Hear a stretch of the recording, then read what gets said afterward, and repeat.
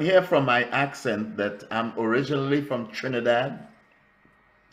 Left Trinidad in 1968 and uh, came to this beautiful country.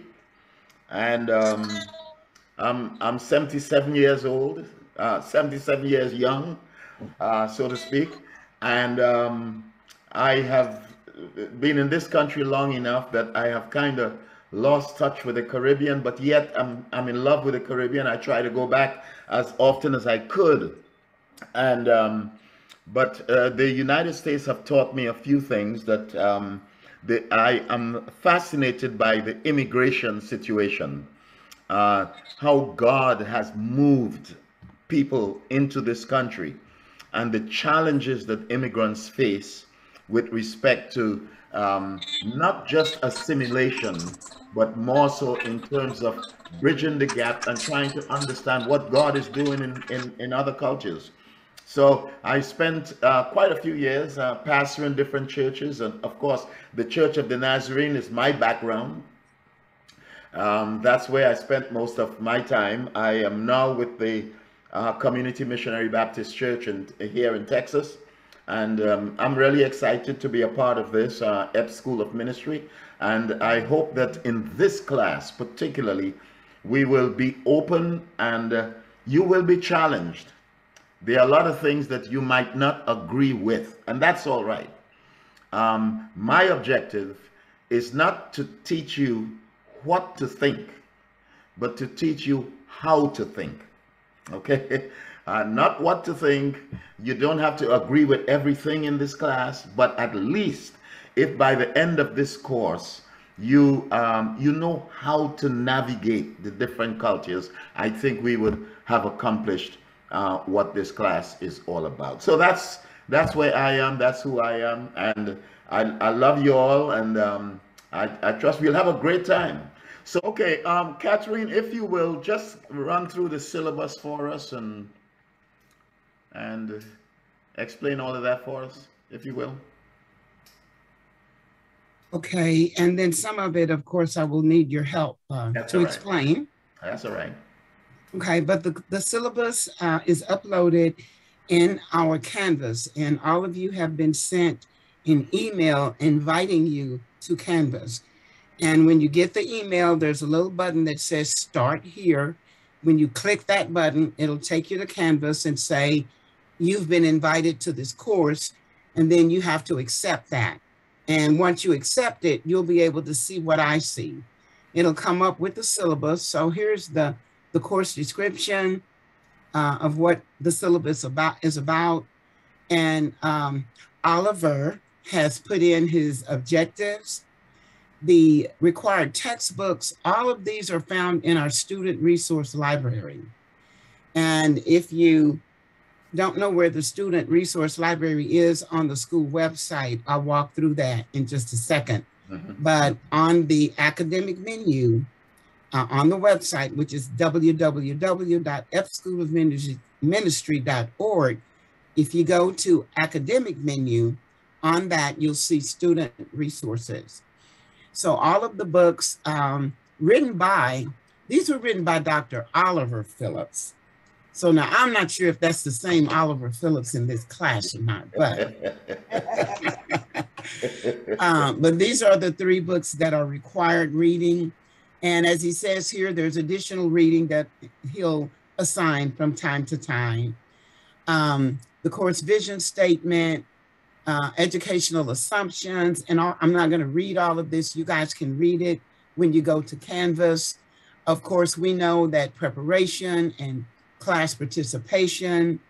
Um, we're, we're on our honor system um, and anything else that, you know, you, information you need. I will quickly go over the grading. The written class assignment, uh, Dr. Phillips and I have got to get some more details to you for, for what that actually is.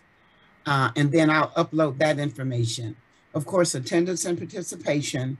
And the final paper that will be due the last day of course. He said the final paper will be a presentation.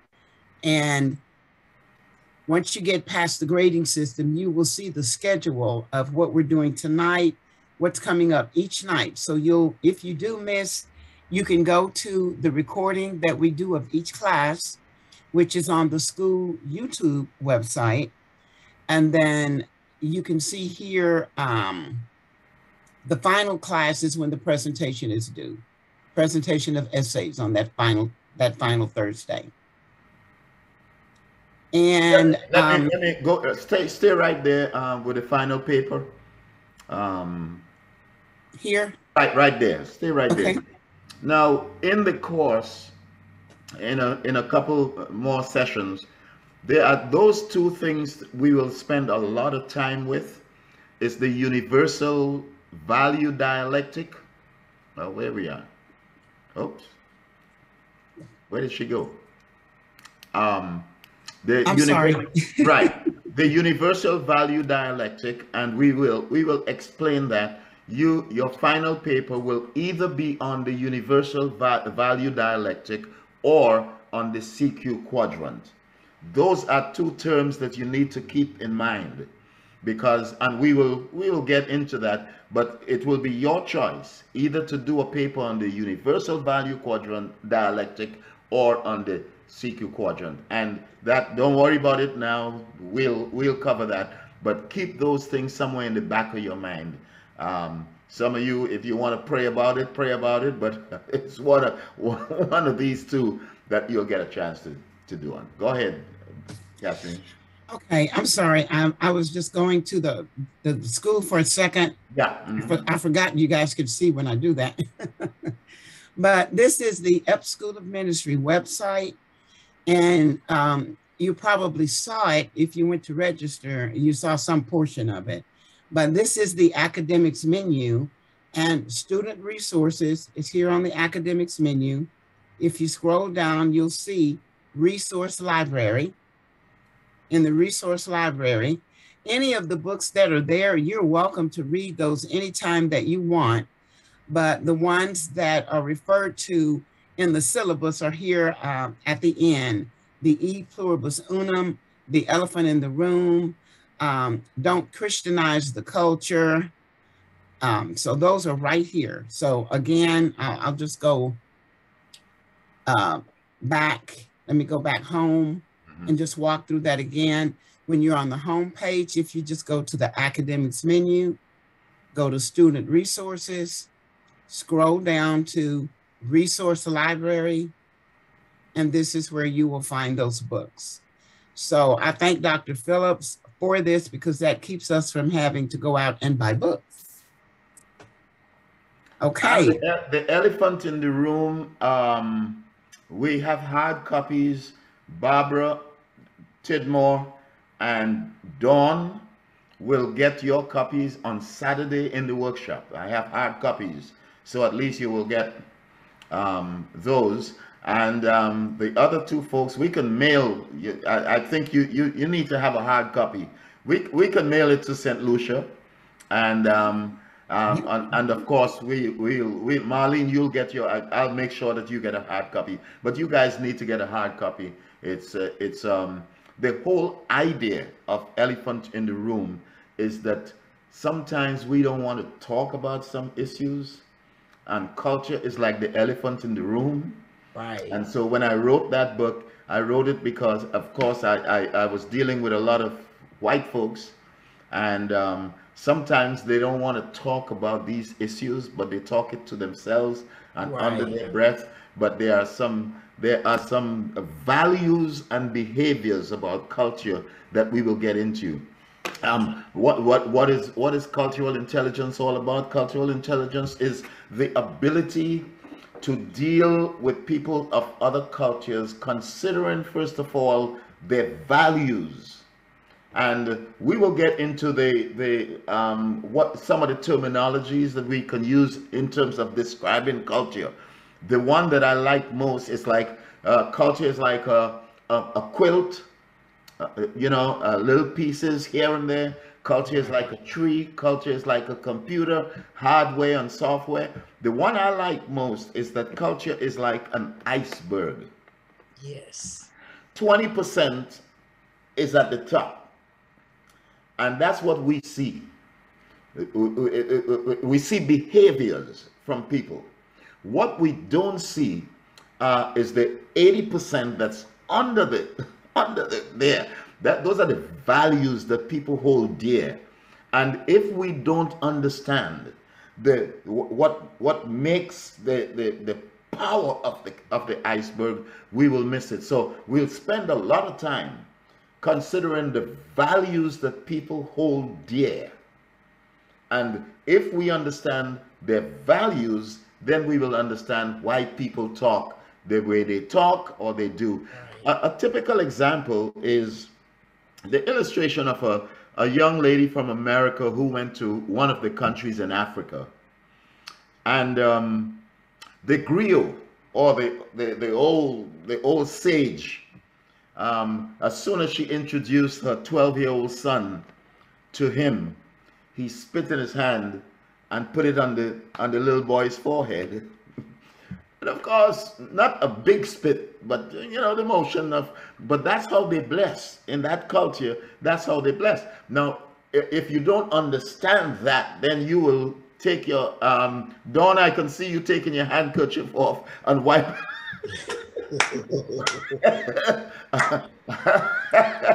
and wiping your son's head. But these are the things that we have to understand. Right. why people act the way they do. And that's what this course is about. Understanding those basic things. Now, are you through, Catherine? Yes, sir. Are you you through? All right, your your check is in the mail. Now, if if we can if we can now, is there any question that anybody has about culture that you would like to ask before we get in the course? I I have a question, and you will Yeah. probably cover this in the course. Mm-hmm. But I am always wondering when I meet someone of a different culture, if you don't know anything about their culture, what do you do? Do you just stick with your own? Or, or what you know uh, that's that's what i'm always puzzled by well i don't know what to say or what to do Great. and Great. Good. Well, this course will help you uh, in that. And um, it's, it's called CQ strategy. Um, um, the, the, the term, the, the brief term is CQ uh, for cultural intelligence. Now, you know about IQ, Tidmore. Um, IQ, um, people don't improve their IQ. If you if you're a little child with a 34 IQ or 85 IQ, you the rest of your life you don't improve on your IQ. That's something that people don't improve on. Human resource always used to look for many many years used to look to hire people with a high IQ. And if they know that if they have a person with a high IQ, then the chances are of success are very good because they have a very high IQ. One of the persons, if we remember recently, one of the persons with a very high IQ was Bill Clinton. Um, he made his, a set of mistakes, but he was one. He was known as a person with a high IQ. However, beginning about 1950, between 1950 and 1960, they found out that there are a lot of people who have a high IQ, but on the job, they seem not to be able to get along with other people for some reason. And the professionals and the scientists, they began putting their heads together and dealing with anthropology and all of that. And they, they came up with this, excuse the expression, when, when women got a little attitude on the job, we used to say, well, you know, it's that time of the month, you know. And so we excuse her, it's that time. Now, however, they found out that men were also facing the same challenges. Some men, even with a high IQ, for some reason, they get rattled very quickly. Out of that science and research came emotional intelligence which is EQ. And so that uh, even with per, and, HR departments, even with persons with high IQ, they they knew that they had to teach them emotional intelligence, how to deal with, with, with their own emotions so that they don't blow up. Now, so we have IQ and we have EQ. Right. Globalization began uh, to take place in the 70s, where a lot of factories in America, a lot of businesses in America were going overseas. They were going to Japan, they were going to China, they were going all these different places. But what they found out is that even with managers with high IQ and very good EQ, yet when they go to China, they couldn't get along. They couldn't make it. And they were just calling managers back. They would go and they would work there for two year, two months, three months, four months, and then they have to call them back. They just could not get along with the people. So out of that research came cultural intelligence. Mm. So you have IQ, which is intelligent quotient, and then you have emotional intelligence. And with globalization, they, they felt that people need to understand the culture. And if you don't understand the culture, you're going to end up frustrated and you're going to end up defeating your own purpose. So that basically is what cultural intelligence is about. How do you strategize to deal with individuals who have a different uh, culture than you are? Okay, any other question? Would you categorize um, people with intellectual disabilities in that same arena or? Yes, that's mindset? a part of the that's a part of the IQ, and I know that's your area. And um, this is entirely different, but some of the things we learn in cultural intelligence will help us with this. So therefore, as a, as a sidebar to this, there is also generational culture. There is institutional culture. There is uh, age. There is gender. And so the, what we are dealing with particularly is, is this culture uh, as as we see it, people of different cultures. The, for instance, I, I came into um, Community Missionary Baptist Church in July of last year. Now, I have spent a lot of years in institutions. I spent 11 years in the headquarters uh, as the HNIC for, for 11 years. And then, and then I, I came to Community Missionary Baptist Church. Well, I had to learn the institution. I had to learn what Community Missionary Baptist Church is all about. And if I didn't learn it, I'd be running into all kind of problems. I have to deal with Tidmore. but we understand that every institution has a culture. And our job as we get into an institution is to understand what makes it tick.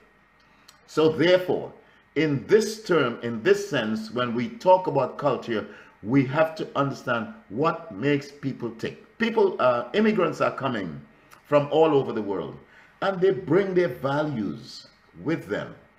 And as, as much, remember, it used to be that it was said America is a melting pot. Well, it's not. Mm-mm. America is not a melting pot. We don't ask people to assimilate, but what we ask people is to be able to understand each other and why people do what they what they do. And if we understand that, we'll be able to get it. So America is not a melting pot. Right. America is a salad bowl. Yeah. The tomato will always be a tomato. The cucumber will always be a cucumber. Yeah. But what we have to understand is what is the dressing that brings it all together? And this, when we study cultural intelligence, we, we understand what is the dressing that we put and understand quite well that no matter how much dressing you put on that tomato, it will never taste like a cucumber. That's true. Because it's still, it's still that. So that's what this is all about. So welcome to the world cool. of cultural intelligence. And I trust that, and we will have a lot of examples as we go along. So share screen um, PowerPoint. Uh, you got it, young lady? No? I do not have it. I checked Alright. my Gmail and it was too big. I- I think You got it. Look at that. Yeah. He he can he can wing it. He knows it. He knows it. All right. Welcome to Cultural Intelligence 210. This session deals with what is cultural intelligence or CQ and why is it important. We will understand the history and the evolution of it. The some 2013, I, I think it's 20, 2010, I was introduced first to this whole idea of cultural intelligence, and I've been fascinated by it. This is my certificate of completion uh, in it, so um, so that at least you know my background in terms of this. I'm not just a, a minister of the gospel, but I also dabble with this. I've got a question to ask you. What do you see here? A zebra.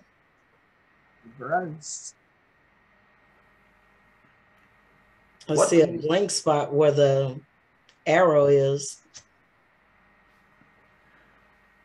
How do I get this to move across? Um, let me see, where are you? You are on.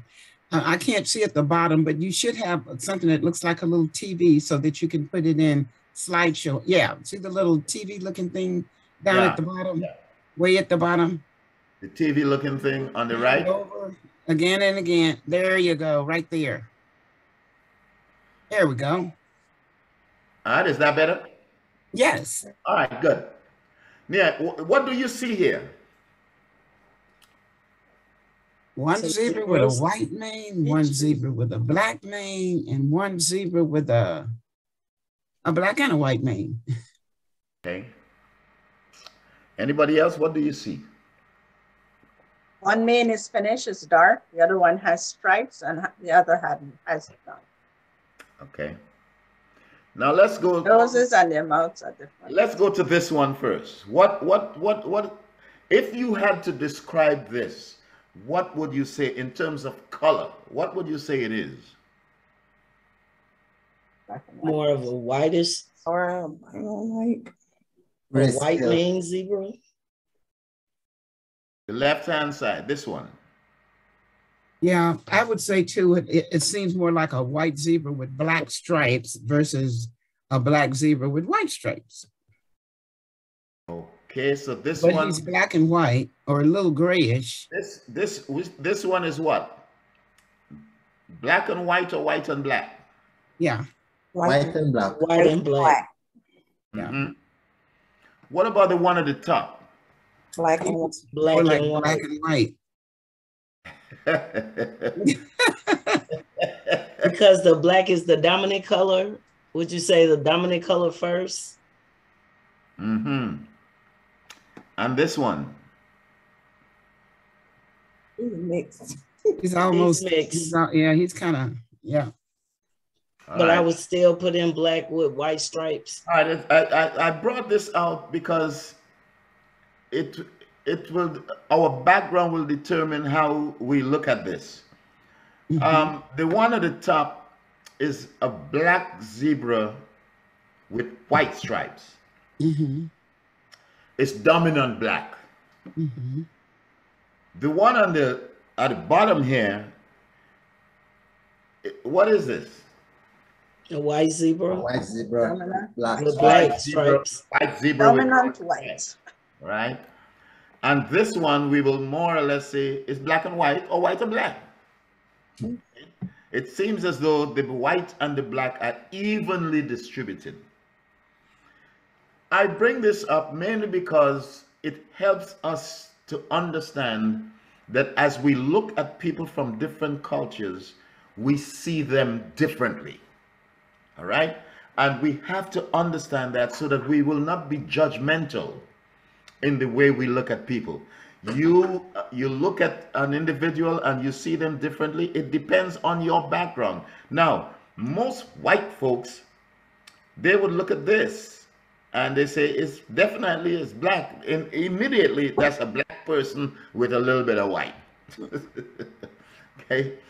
So I just brought this up to understand as a background that we all see things differently depending on our background.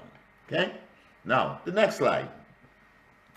I don't know if you remember, uh, Tidmore, you you you you might remember this. Uh, the the Who Moved My Cheese? I read that book uh, about 24 years ago, Good. and it was a very interesting book, and uh, I, it it was one of the most read books. Uh, I think a couple of years ago, the author of the book passed away hmm not too long ago, but uh, it's a very interesting short read, and Yeah. it's very insightful on how to adapt to change. That's right. And and and the background to this is that they they they had some mice or rat and they put them they had the cheese in one place and a few days for a few days the rat will come in and the rat knows exactly where the cheese is and they move the cheese. And the rat is not smart enough to know that the cheese is moved and the rat keeps going to the same place to get the cheese. And the rat did not realize the cheese has moved. Same way in the uh, when it comes to christianity um, the cheese has moved. America is no longer uh, a place with one culture. Right. uh, Christianity is not about one culture. The church of the 21st century will more resemble the church of the Pentecost as we saw in Acts 2. If we remember the story of Acts 2, it was people of different cultures. Lebanon, Cyprus, Malta, Syria, Jordan, Egypt, Libya, all of them, different parts of Asia. What do we do in our communities when there are different people who want to be a part of the gospel as we know it. Our responsibility is to share the gospel with them. But if we don't understand how these people think, there is a barrier that is set up. Most people in America know that a thumbs up means, you know, I went to a restaurant one time and I asked the, the waitress, um, how is the food? And she she just gave me a thumbs up, but I knew she was Asian. And I uh, when she came back, I said, could you do that at home? And she laughed. She says, no, I couldn't do that at home because in some cultures, a thumbs up means sit on this. Mm. it's an insult. And so you have to know where you go, whether you're going to give a thumbs up. If you don't understand the culture and somebody talks to you, you, you give a, a thumbs up and really you're saying, that, you know, your food is not good. The cheese has moved in our communities. And if we don't accept the fact that the cheese has moved, we will continue to do ministry the way we have always done it. For instance, I, um, in my responsibility in the Church of the Nazarene, for many years, I was in charge of multicultural ministries. And I would go to white churches who shared their, their, their facility with Haitians. Um, and, you know, I, if I had to advise them, I would say, look, don't give them the nine o'clock spot. And some of these white folks would give a, a Haitian church nine o'clock and tell them that they ought to be out by 10:30 because the the dominant culture is coming in to have their service.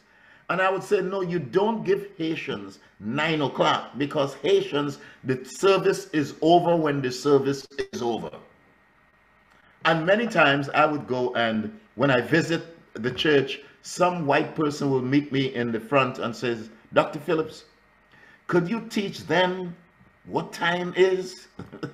they, you know, because they were struggling with the fact that even though they tell the Haitians they are renting the property to them, but they would tell them, look, you need to be out by 10:30. No, that's not the culture. The culture is it's over when it's over. The, uh, uh, the, the Caribbean folks, Marlene and Anthony, would understand quite well. Um, For instance, in in America, you can ask when is the party going to be over, and they'll tell you the party is going to be over at three o'clock in the morning. but to the people in the Caribbean, you can't you can't ask that question. When is the party going to be over? No, the party is over when the party is over. Wow. And we have to understand how people think culturally in order to reach them. How do we practice church? Amidst this new ecclesiastical climate, immigrants have rezoned the church neighborhood. How can the church respond res effectively in this type of climate? So this is what this course is about. How do we get people to uh, be a part of this Christian experience that God has called us to. And if we don't understand them, we cannot reach them. These are some statistics that I have, and it's a little dated, but it gives you a general idea of what America has become. There are more Jews living in America than in Israel. That's startling more Jews living in America than in Israel. More people of African descent live in America than any country in Africa except Nigeria. Now, the sad part is that we have spent, the, the, the, the dominant culture church has spent millions of dollars going overseas right. to reach other people. And it is a it's a, it's a fascinating thing and and, and, and, and the dominant culture always talk about the fact that we're going to Africa. We're going to take Jesus Christ to Africa. We're going to Mexico. But God has a good sense of humor. The same people who they have gone to reach, God has brought them here. Mm -hmm. And and when God has brought them here, how do we do Christianity? How do we do church now that God has reversed it? There are more Samoans who live in America than in Samoa. And people, missionaries, study the culture before they go to Samoa. But sadly, the church in America has not studied the Samoan culture as to how to reach the Samoans because um, um, inherently they feel that Samoans must assimilate and Samoans must understand what it is to be American. There are more Hispanics live in America than any country except Mexico and Spain. More Cubans live in Miami except for Havana. Wow. More Armenians live in Los Angeles than any city in the world. If we don't understand the culture of the Armenians, how are we going to reach them? Right. In the 90s, in the USA, the Asian population grew by 107%, Hispanics by 55%, Native Americans by 38%, while the general population grew by only 6%. The burden for the church in America is to understand what missionaries learned a long time is that if they're going to go to the Caribbean, you better learn the Caribbean culture. We have, we from the Caribbean have something called Carnival. And um, it's like Mardi Gras, uh, New Orleans kind of stuff. But I remember the days when um, the missionaries, when they came and they says, man, that's of Satan. We, we, we, we invented the steel pan. And yet missionaries, when I joined the church in the 1960s, we, we couldn't have steel pan in the church because the missionary said it's of the devil. But they didn't understand. That's our culture. And if you're going to reach us, you must understand what makes us tick. These incredibly amazing demographics should awaken us to the challenge of becoming the New Testament church in the new century. So, for those of you from the Caribbean, you may not understand this little video. It's 10 minutes. Bear with me with this video. um, um, it's about baseball. Baseball has three bases, and um, first base, second base, and third base. But this is a little video of confusion that tells you what happens when people don't understand what you're saying. And conversely, when you don't understand what people are saying. Take a look at this video. In the book of Hebrews, uh, it gives us a good example. Hebrews chapter 1, verse 1. Somebody read that. It's right on the screen. Somebody read it. What it says? There is The no right one. Uh-huh. Yep. What is it? The author of Hebrews connects the incarnation, Right. the long history of God contextualizing himself to his people in culturally intelligent ways. The author writes In the past, God spoke to our forefathers at many times and in various ways. Thank you. Now, I, I want to use that as a foundation for our understanding cultural intelligence.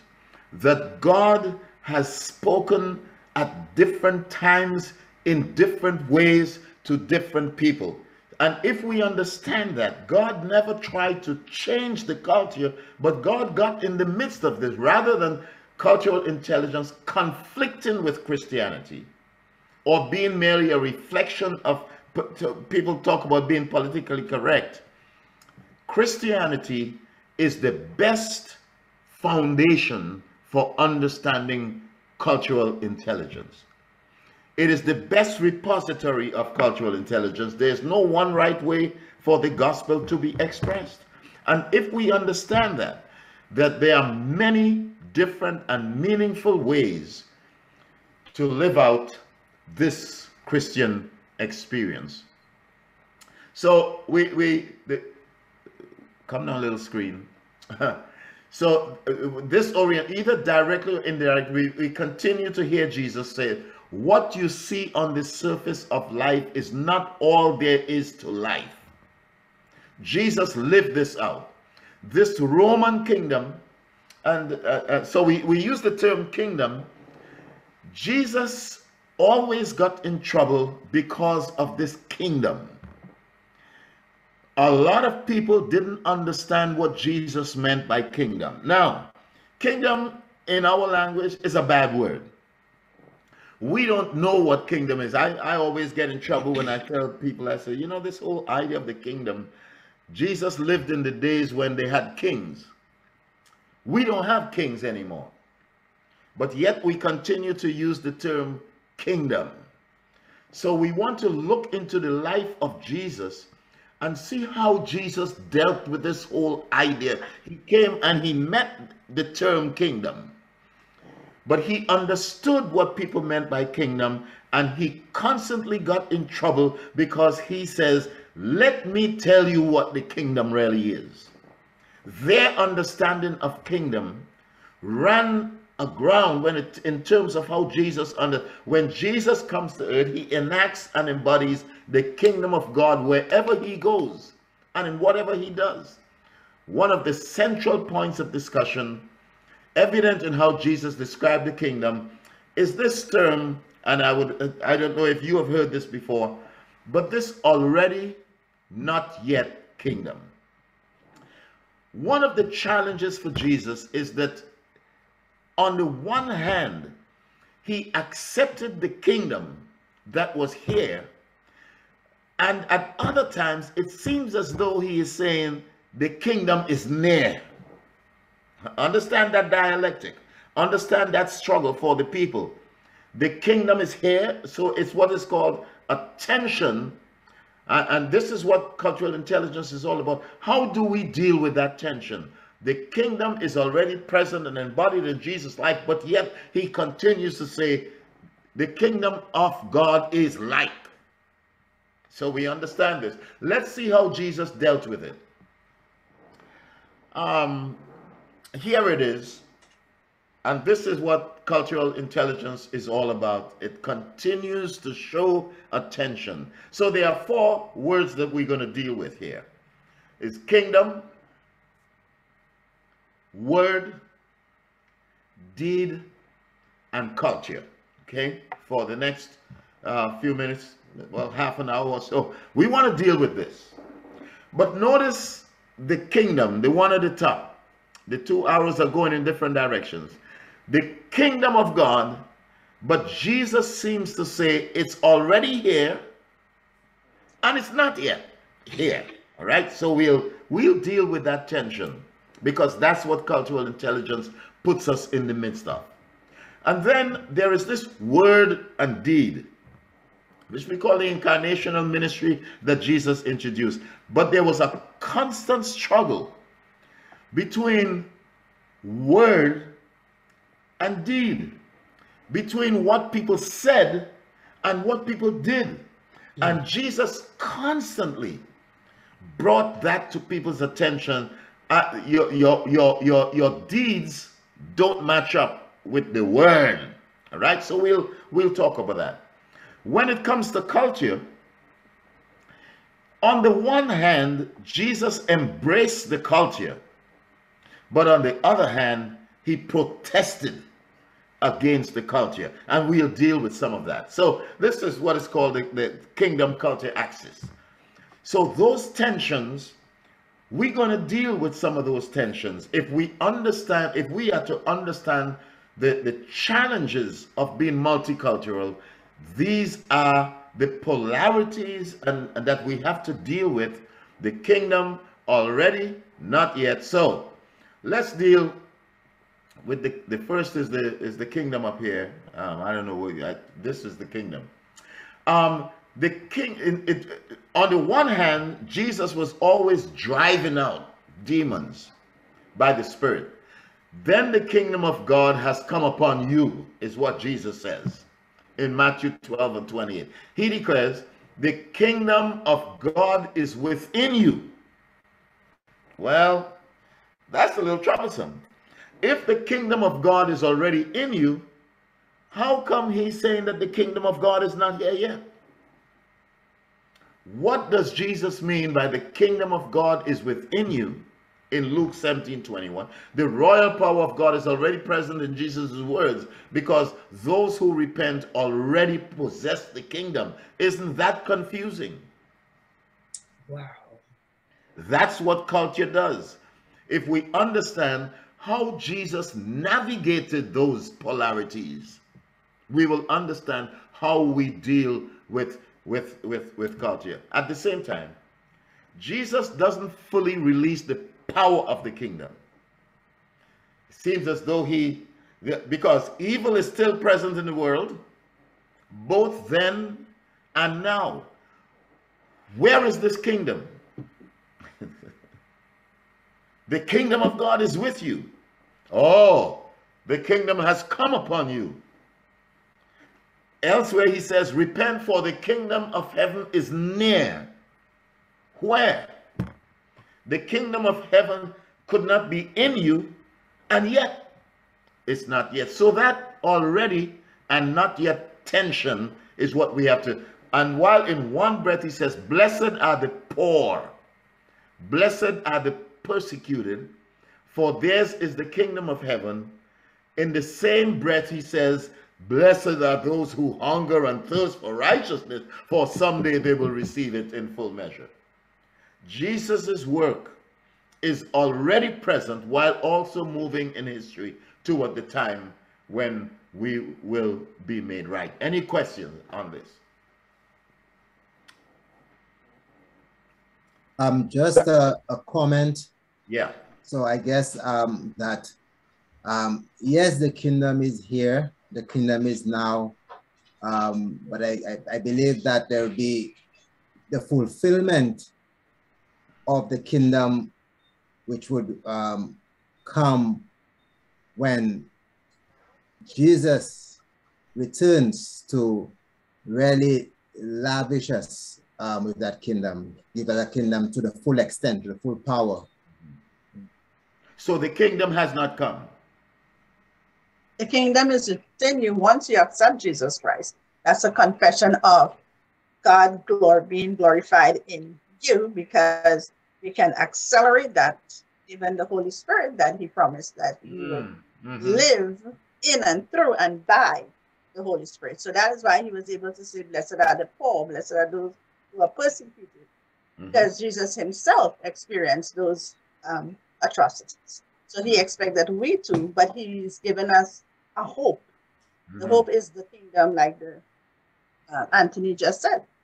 It's the hope to come, but yet still we have it. We can en- envelope it more or less, knowing that we are empowered through it. So Jesus was able to be culturally intelligent, culturally smart, because here he- he's presenting a dialectic. Yeah. He is saying the kingdom is here, but the kingdom is not yet. To understand people of different cultures, you have to accept that dialectic. But but Oliver, he was talking from a worldview. His father Yeah. created the world. His father created him. And even when John the Baptist said he's the Lamb of God to come take away the sins of the world.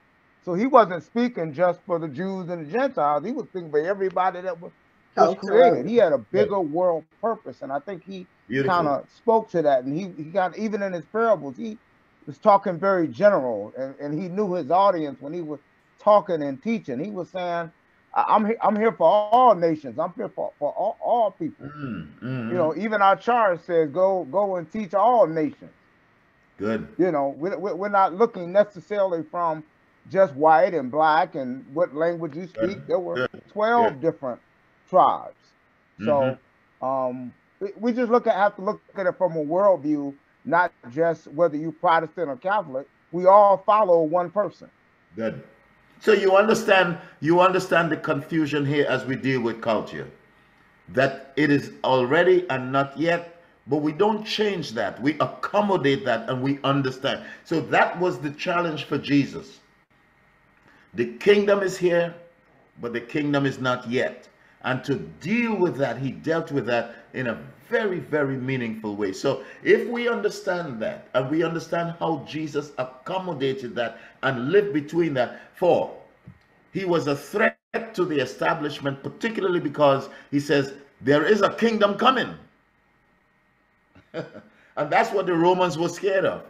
The Romans mis they, they misinterpreted what he meant. And they because he said, You destroy this kingdom, and in three days I'll build it again. The confusion that he lived in and the tension that he lived in is what cultural intelligence is all about. We don't destroy that which is, but we learn to accommodate and to understand it. And Jesus did that very, very, very well. So that's where the kingdom is concerned. And then th- this this tension also comes into into what we deal with with I think the next one should be culture. Um, the kingdom of God is paramount where Jesus is concerned, and so he he brings about this whole idea of the of, of culture. The kingdom of God is paramount of Jesus' interaction with the cultural context, yet it becomes remarkably clear that amid Jesus' ruthless focus on inaugurating the kingdom of God is an equally relentless commitment to do it in this way so that he can effectuate the, the kingdom. That is the challenge of cultural intelligence. But then we come to uh, race. Jesus always conveys the kingdom in the medium of culture. He he discussed it in the midst of culture. The gospel should not uncritically take on all the values of a culture, but yet at the same time it should confront the culture. And so that and that's what Jesus was was very good at, at doing. Um, now, the, the temple is the other dialectic that we deal with. The temple, Jesus accepted the temple. Um, the temple caused a lot of trouble. Now, the temple was the it was the in the midst of Jerusalem. That's what everybody looked to. But while Jesus embraced the temple, he also protested what was happening in the temple, understanding cultural intelligence. Jesus, this is how we embraced it. Jesus regularly went to the temple. He went to the temple all the time. Getting to the temple for Passover is a high priority for him. He but he threw the, the, the money changers out of the temple when they are corrupting the purpose, and he regularly references the temple. So he respected the temple. But yet, at the same time, he protested. Yet Jesus says, I'm going to destroy this temple and rebuild it in three days. He protests the idea that God's presence could be regulated by physical space. Jesus was very much against the fact that it is only in the temple that the Spirit of God resides. And Jesus was saying, no, it's much more than that. That dialectic is what we deal with when we go into dealing with cultural intelligence. That the Torah. You know what the Torah meant to the Jewish people? The law of Moses. Jesus constantly got in trouble because he kept on saying, Moses said unto you this, but I say unto you. That was an affront to the Torah itself. But, Tidmore, Jesus was the fulfillment of the Torah. And that we understand the challenge that Jesus had as to what to do with the Torah. Respect the Torah, but at the same time, understand quite well that a new day has dawned. That's what we do as we deal with people of different cultures. You, Jesus respected the Torah. But at the same time, he was careful to talk about what does it mean that this Messiah has come to the world and to be able to express it in such a way that people accept that. The land was another tension for Jesus. Um, Jesus embraces the, the, the, the, whole idea of the, the mosaic economy. Land was very important. Some commentators uh, look to the where Jesus talking about render to Caesar what is Caesar's. But by the same token, he was saying that the, the, the whole idea of religion is not about land, but it's about a different kingdom, this new kingdom that Jesus Christ has just come to bring. Any questions on this? Any comments?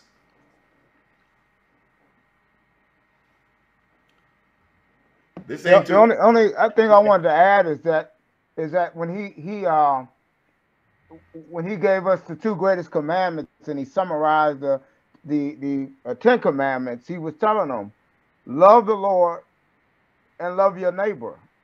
So he was he, he referenced a lot of times the Old Testament. He even even when he said man doesn't live on bread alone, when he was in the wilderness, he spoke from Deuteronomy, I think eight and three. So he spoke to the Old Testament. It, it was not like he wasn't connected to it. Mm-hmm, mm-hmm. So therefore, um, and, and this is the challenge for the church today. You cannot embrace the Great Commission until you have embraced the Great Commandment. Those two things must go hand in hand. You cannot really take the gospel to different people until you accept the fact that you have to love your neighbor just like you love yourself. And that's difficult. It's difficult to love people who are, are different than we are. I've gone I've gone to Africa and I one of the challenges is is is hygiene.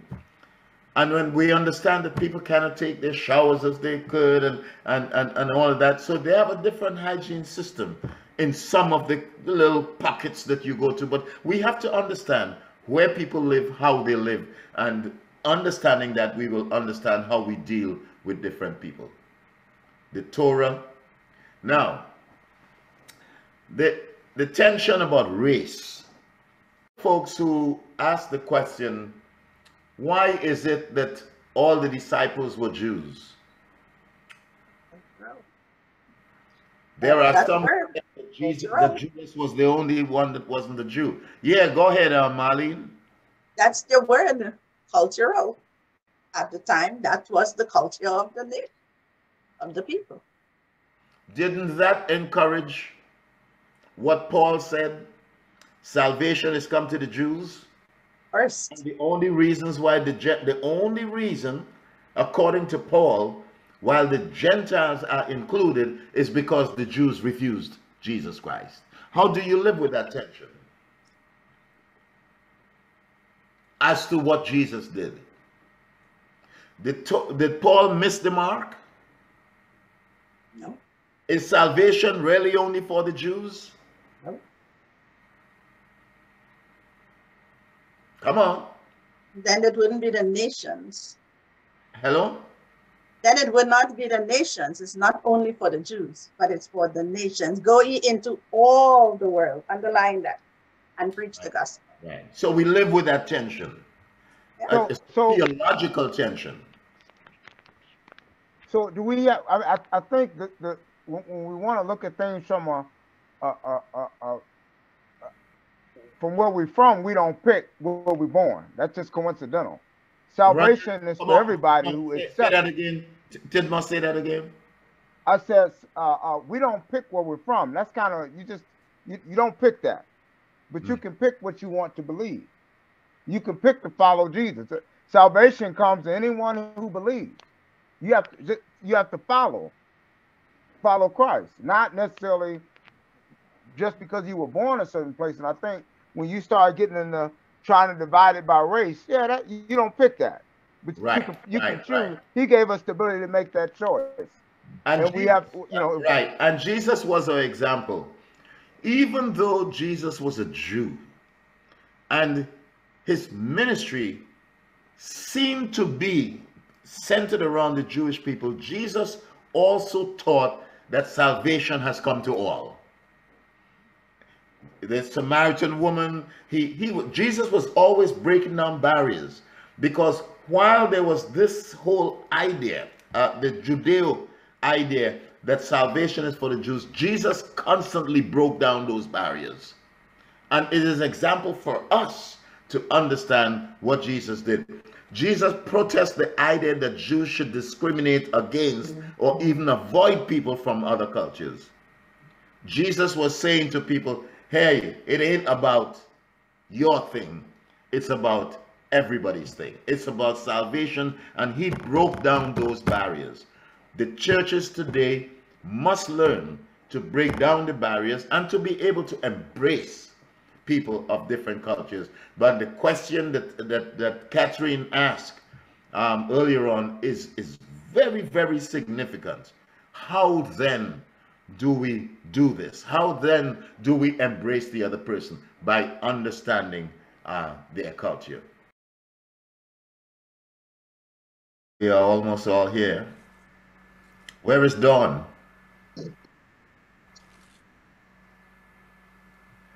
Now, who is from Nigeria? Yeah.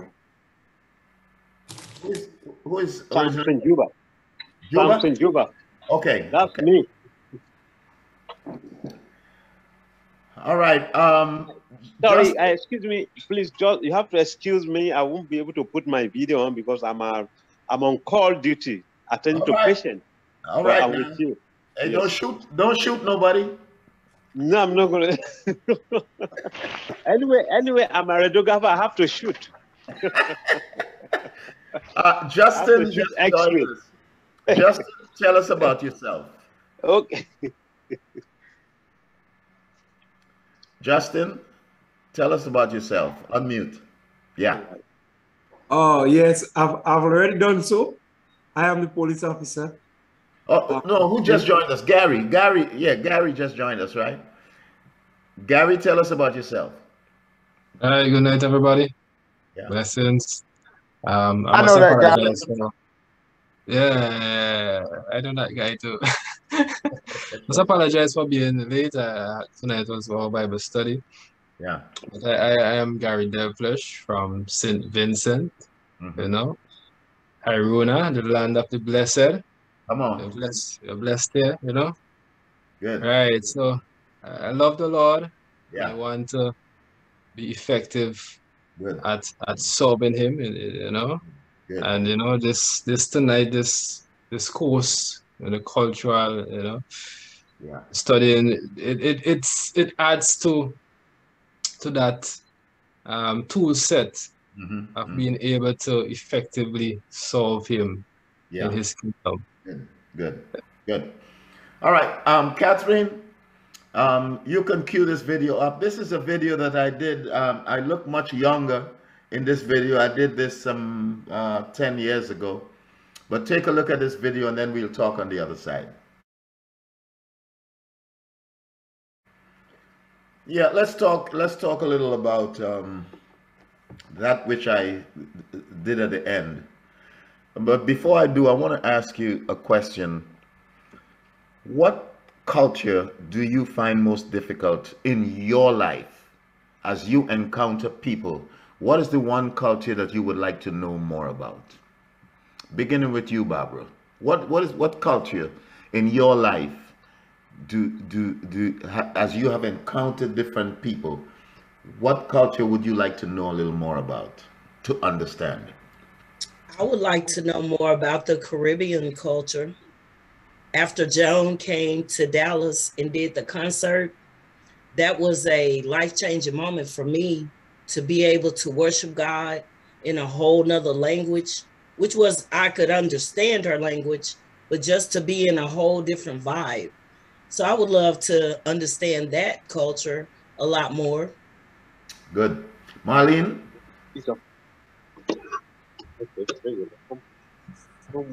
Marlene, what culture would you like to know a little more about?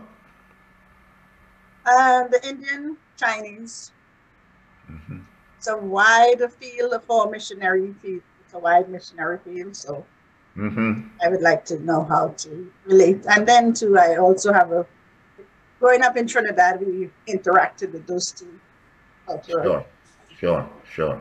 Gary?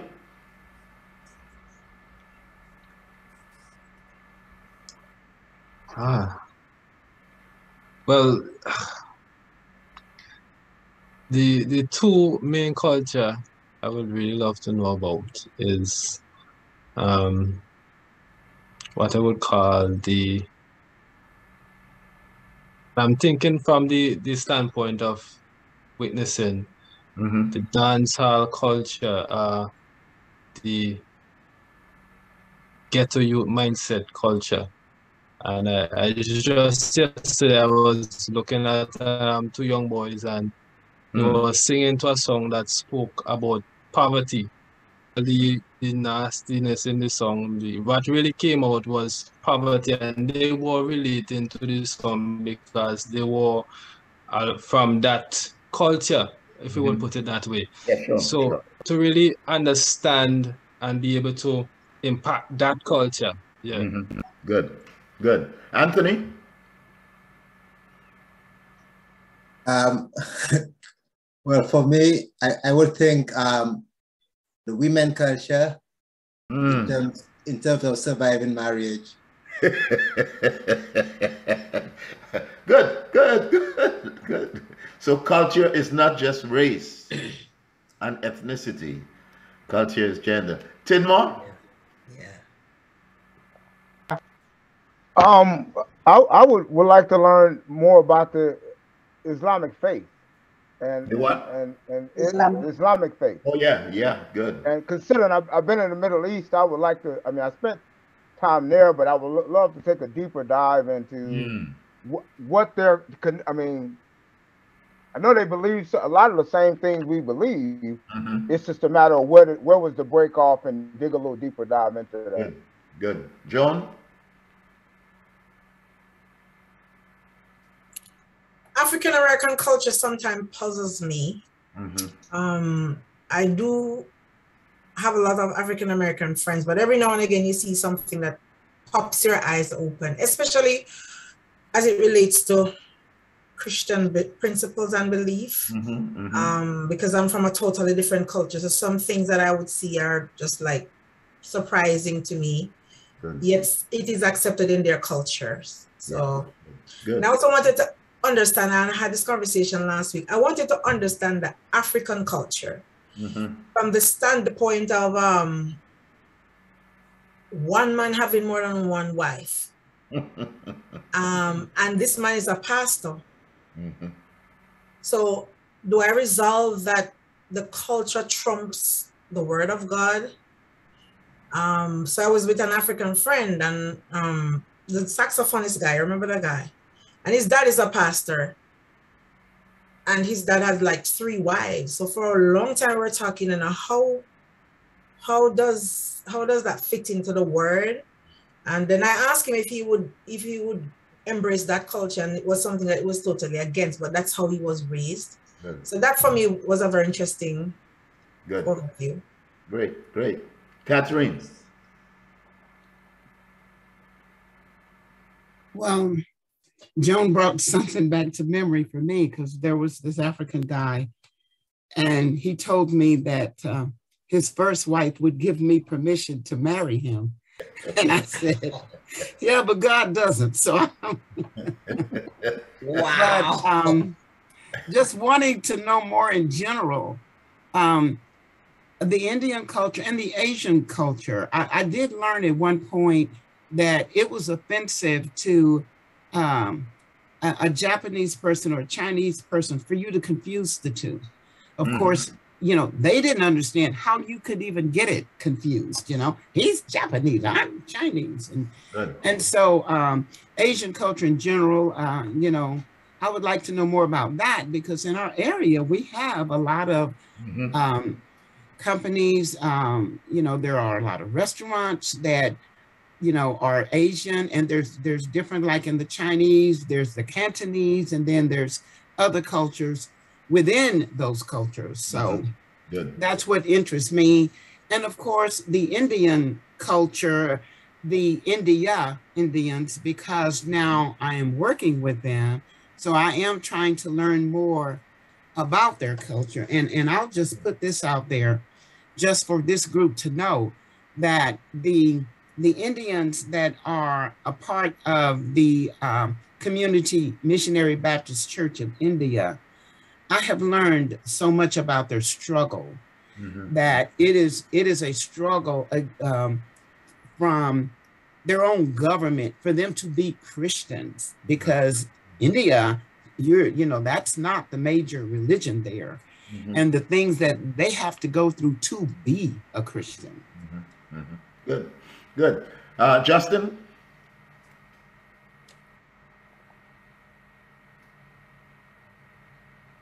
Yes, um, I, I would really like to learn about the culture of um, religion, the religious culture, you know. There are so many different types of, of religion you know, um, I'm really like more interested in learning more about the religious culture. Mm-hmm. Good. Good. Dawn? Uh, I would. I have a couple of interests. Um, the uh, African culture because I, I, have a few friends that are from Nigeria, and I have um, a couple friends from Sierra Leone, and it's like she's like they're different, you know, and so um, and we kind of just kind of lump put them all together because you know it's like okay this is africa so but they're very different and um, so i would like to know more about that and i also had an interest in um, the asian culture and uh, as well as the indian culture like um, sister catherine had mentioned mm-hmm. because mm-hmm. uh, it reminds me um, of their their their struggle and how how it relates to ours when we were, you know, like the poor, very poor, you know, and um, I was just just really kind of intrigued by that and how they um, kind of still deal with it all at this time, at this point in life, you know, because it's not really the same for us um, as it, it was back then, but it seems like it's still, they're still there. And, you know, so I want to know, well, what why why is it and because you see with that um that type of um with those people there are some that are way up here and then there are those that are way down here. You know where is the the middle and why is it like that? Good. Good. Samson? Good morning. Thank you very much.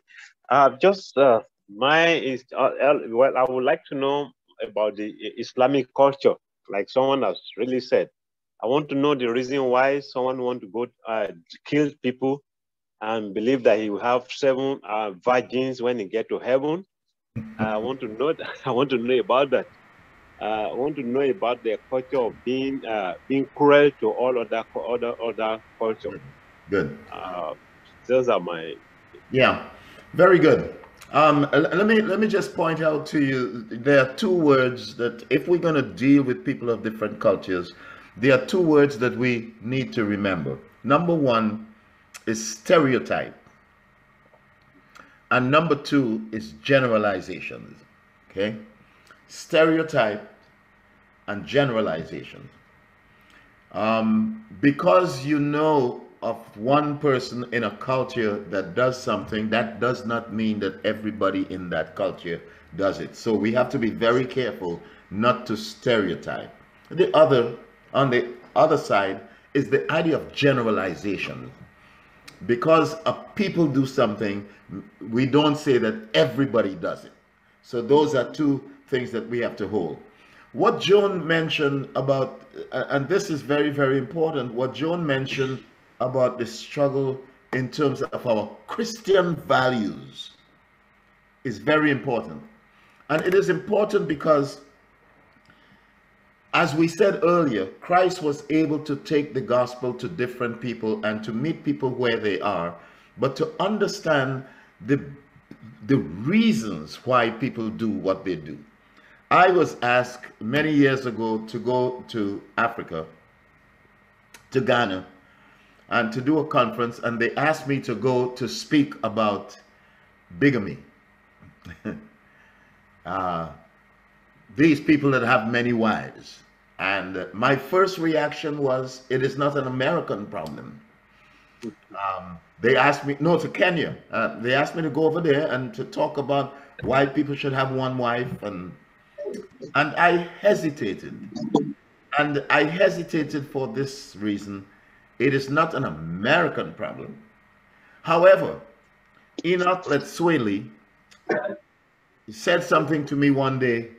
He says, you know, the difference between Africa and America is that we have many wives at the same time. In America, you have many wives, but you have one after the other. You divorce one and you marry another and you divorce. How many how many friends we know that have had been married three times, four times, five times. One friend, one friend of mine is married seven times. He said, "I keep doing it until I get it right." but the fact is, I, I and I went there, and when I went, the conversation was a sociological conversation, in that we know that there are more women than men. We know that. How does a society deal with that?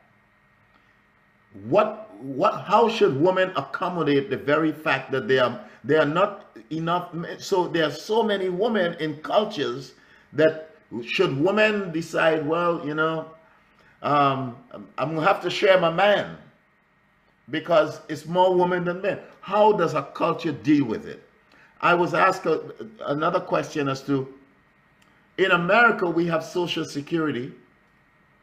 That's a great system. In old age, we know that we have Social Security. How do a people in villages in Africa deal with old age? They have a way to deal with it. They say just have a lot of children, have as many boy children.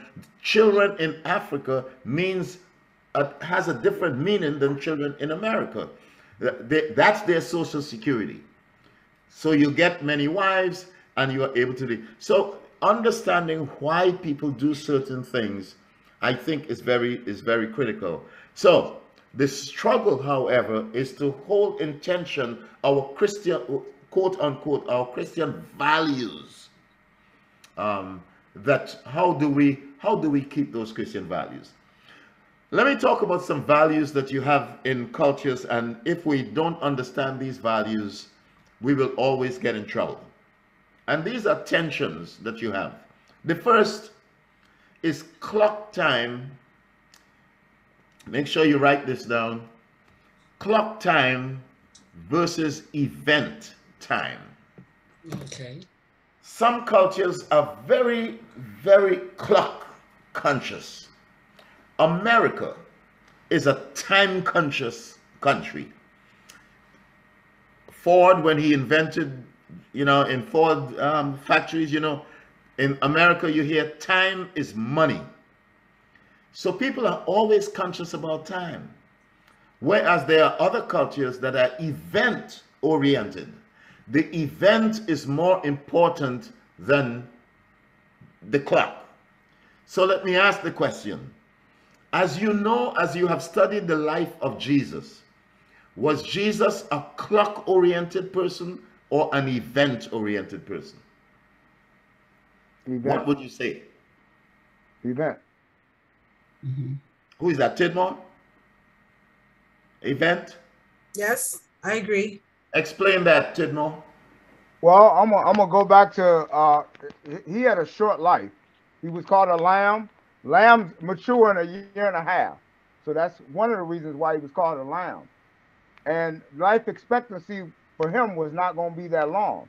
It was more important for him to and, and a lot of the things when he encountered you, he was immediately, he didn't take his time in performing a miracle. It was normally done immediately with his words. He said, Get up, take your mat, give me your hand. His his his actions were immediate. When he fed you, it wasn't about a, a, a, a- coordination, it was immediate action. So his his his concept of time was making it happen, but it happened be- in in a sense of urgency, but he wasn't in a hurry. So Good. just looking at the Okay. whole his, his life, his ministry, and how and how he did things, it was immediate. He didn't think like about so the, the event was, forecasting the storm, telling you Right. about the storm. He just said, so the event was Stop. more important than Right. the, okay, good. Right. Anybody else? I agree with Tidmore, but also I Yeah, explain that, Joan. and I say I was I, I was thinking the way Tidmore thought, but also um so I've had this conversation every so often with my seventh day friends. And and I say that because their sun sunset to their sundown, was it sunrise to sunset is very important to them. Mhm. Um, and I was in a discussion the other day with a whole bunch of my friends, and we were talking about this this this Seventh Adventist culture. But I'm not here to say that they are not saved. But I find that I remember one Saturday I was invited to sing at a church in Pennsylvania, and I got there and I and I really really wanted a cup of tea. So I said to must be this hospitality lady, that "Can I have something warm?" And she says, um, "She can't give me something warm because they can't light the fire." on the Saturday. So I said, if Jesus was here and someone is fainting and it's just a cup of tea that Jesus, Jesus is gonna stop and ensure that they get the tea, right? Mhm. So when you talked about clock time versus event time, back to Tidmore's point is that Jesus never refused to do anything, and when he wanted to do it, it's done. He called it into action and it was performed. But I think that we have not embraced that in America because we are this clock oriented, time oriented country. And I think it robs us a lot in terms of getting to the heart of who Jesus has called us to be Mhm. because we're around the clock time. So Jesus was eventful. Everything he did was, was an event. What's about the event? Yeah. Yes. Okay. Yeah. Anybody else on this clock time versus event time? Um, I think that there were, I, I- I personally think uh, event, I agree with that as a whole, but I think there are some areas where Jesus went by the clock. Um, at the marriage ceremony, he told his mother, now is not my time. This part of time is not when I'm supposed to do something. Mm-hmm. And then when he was getting closer to where he was going to die on the cross, then he says, now it's my time. Mm-hmm. So it has to do with the event, but it had to do with the clock too, because certain things I'm not gonna do before it's time for me to do them. I'm mm-hmm. going to do them at the appropriate time. Yeah, yeah. So these values, um, as we as we study culture, we we must understand that there are certain cultures that are clock oriented, and there are certain cultures that are event oriented. Uh, in most third world countries, they are event oriented and not clock oriented. And it- it- it- so, as, as we, uh, of course, the fact about Jesus is that if Jesus is going somewhere, the event was more important than getting there. So if he's on his way to heal somebody, then something happens and somebody says, Hey, heal my son, Jesus will stop and Jesus will will do. We we know the story well about Lazarus, how Lazarus died. So this understanding of a people, for instance, a, a certain people who have to depend on buses or public transportation and it is always late. There are parts of Africa, for instance, where and, and Latin America where people if you get if you get clock oriented you're going to be in a lot of trouble. You get frustrated because it's always late. We have to understand as we deal with people from different cultures caribbean people are event oriented. We know that. Um, we don't go by the clock. Uh, one of the one of the, the, the, the differences i noticed when i was in new york um, when i first came to this country and I, I would see a video of people on, on, in the morning and everybody is rushing going to the subway. They're rushing going to the subway. Everybody is just rushing. And then i go back to trinidad nine o'clock in the morning and people are just walking. They're going to work and they're taking their time and they walk because that's the way we are. We are an event. We, we when we get to work we get to work. But however when those two cultures clash how do we negotiate? How do we negotiate when cultures are so different? And uh, for instance, in third world churches in America, they when does the service over? The service is over when the service is over. Whenever God appears. But in America, we are very clock conscious and time oriented. And we, if we are going to reach people of a different culture, we have to understand the values that they hold dear to them. Not understanding the values of, let's, let's bring another value, is what is called power distance. Um, there are some cultures that when you talk about the power distance in terms of respect for elders, uh, in, in, for instance, the hierarchical system where there is great respect for. Uh, let me give you an example. An American went to Mexico and with a plant in Mexico, he went to work there. And one of the things that he told um, the, the people, he told some of the supervisors, I want you to make sure that you go to lunch with all the people that work under you. Take them to lunch and and all of that. Because that's what you do in america. America is that kind of system where it's flat. There is not a power distance. Now he told the the the, the supervisor in mexico i want you to go to and of course the mexican wouldn't do it. Because in that culture it's a hierarchical system so bosses don't go to lunch with people under them or uh, under the other. So that it creates a, a real problem when you have to when these two cultures clash we have to that's very important. There are cultures who come to america for instance and where people are called by their first name. That's something that you see. I I'm, my case is in point. I don't like anybody to address me as doctor so and so and i i've had problems all my life. I don't i don't even want people to call me reverend. Um, i'm oliver and i that i break that hierarchical system, but how do we deal with people uh, from different cultures if we don't understand why they do certain things? Another polarity is high versus low uncertainty avoidance. Some cultures take more risks than other cultures. Jamaica, for instance, is the most risk-taking people in the Western Hemisphere. And that has been certified. Jamaicans take more risks as a people. They will take risks much more than any other island in the Caribbean. they, they are risky people. In other words, they will take a chance. Other cultures, they want to know, uh, no, one, two, three, what happens after this? And why you think Jamaica has a bobsled team?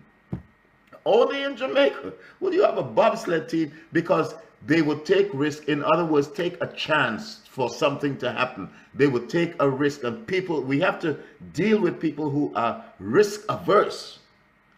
Um, many times in a board meeting, I, I have people in board meetings who are risk averse and they hold the entire church back because they want to know why you're doing this, and they, you must be able to tell them, well, one, two, three, and if it fails, this. So as we understand culture, we must be able to understand the values that they hold dear.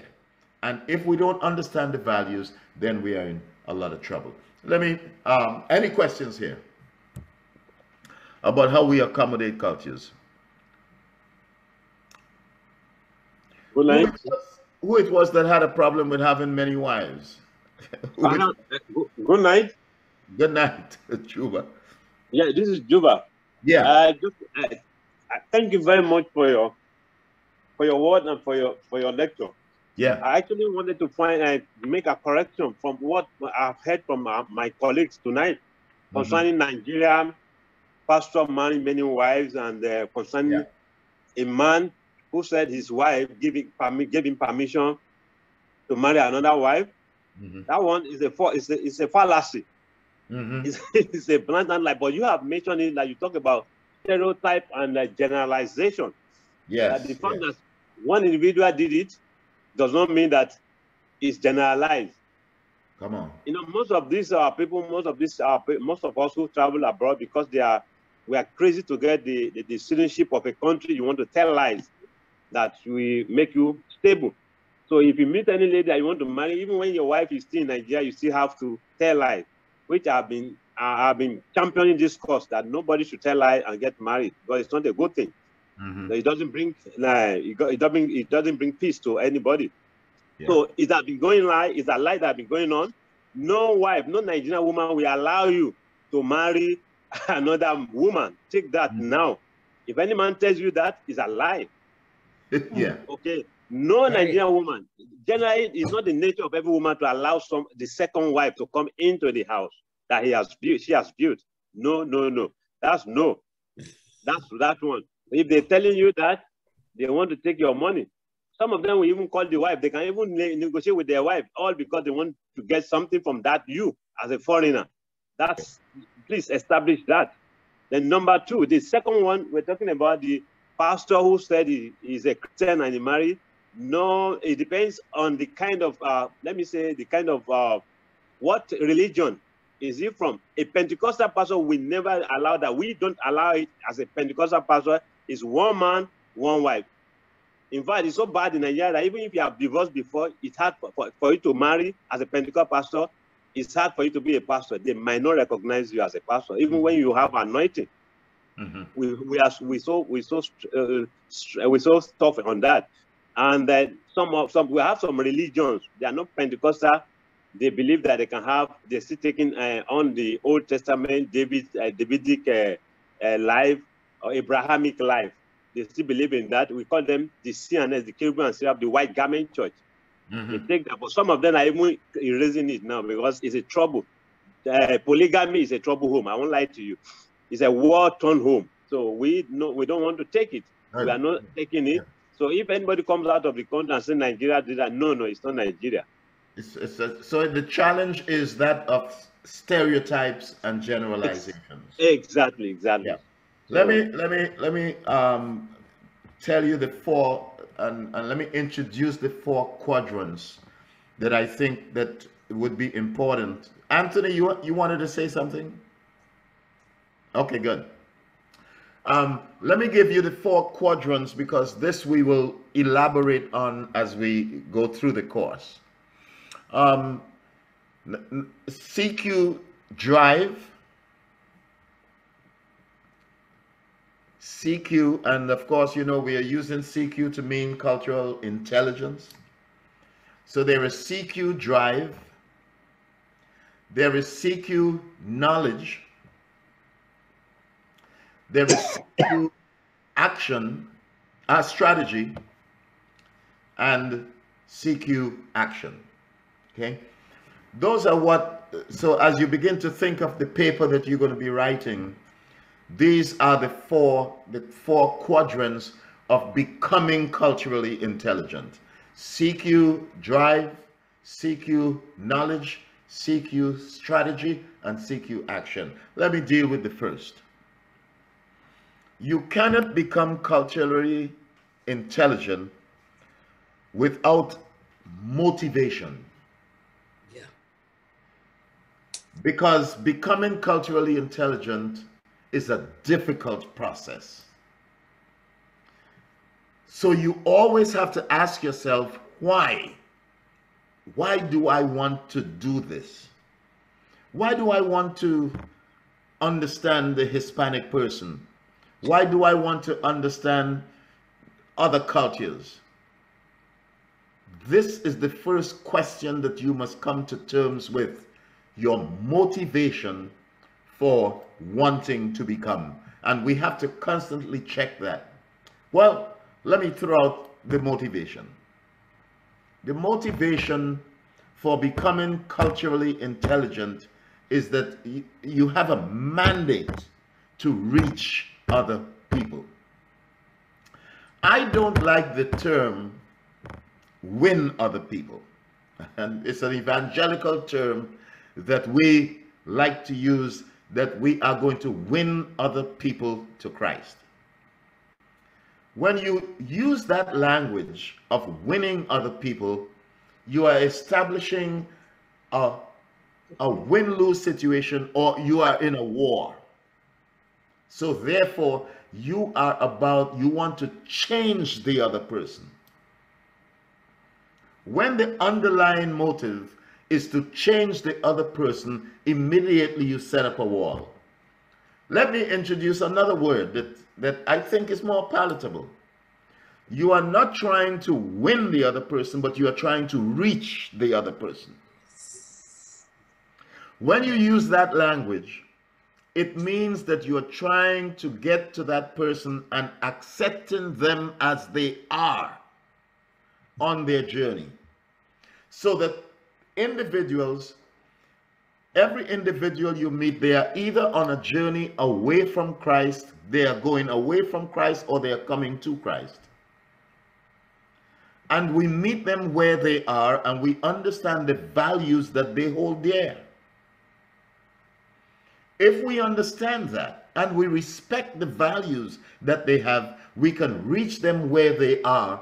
And they, if we want to use the term conversion, understand quite well, if you don't meet people where they are, you're going to be in for a fight. Accept the person just like they are and accept the whole concept of the iceberg.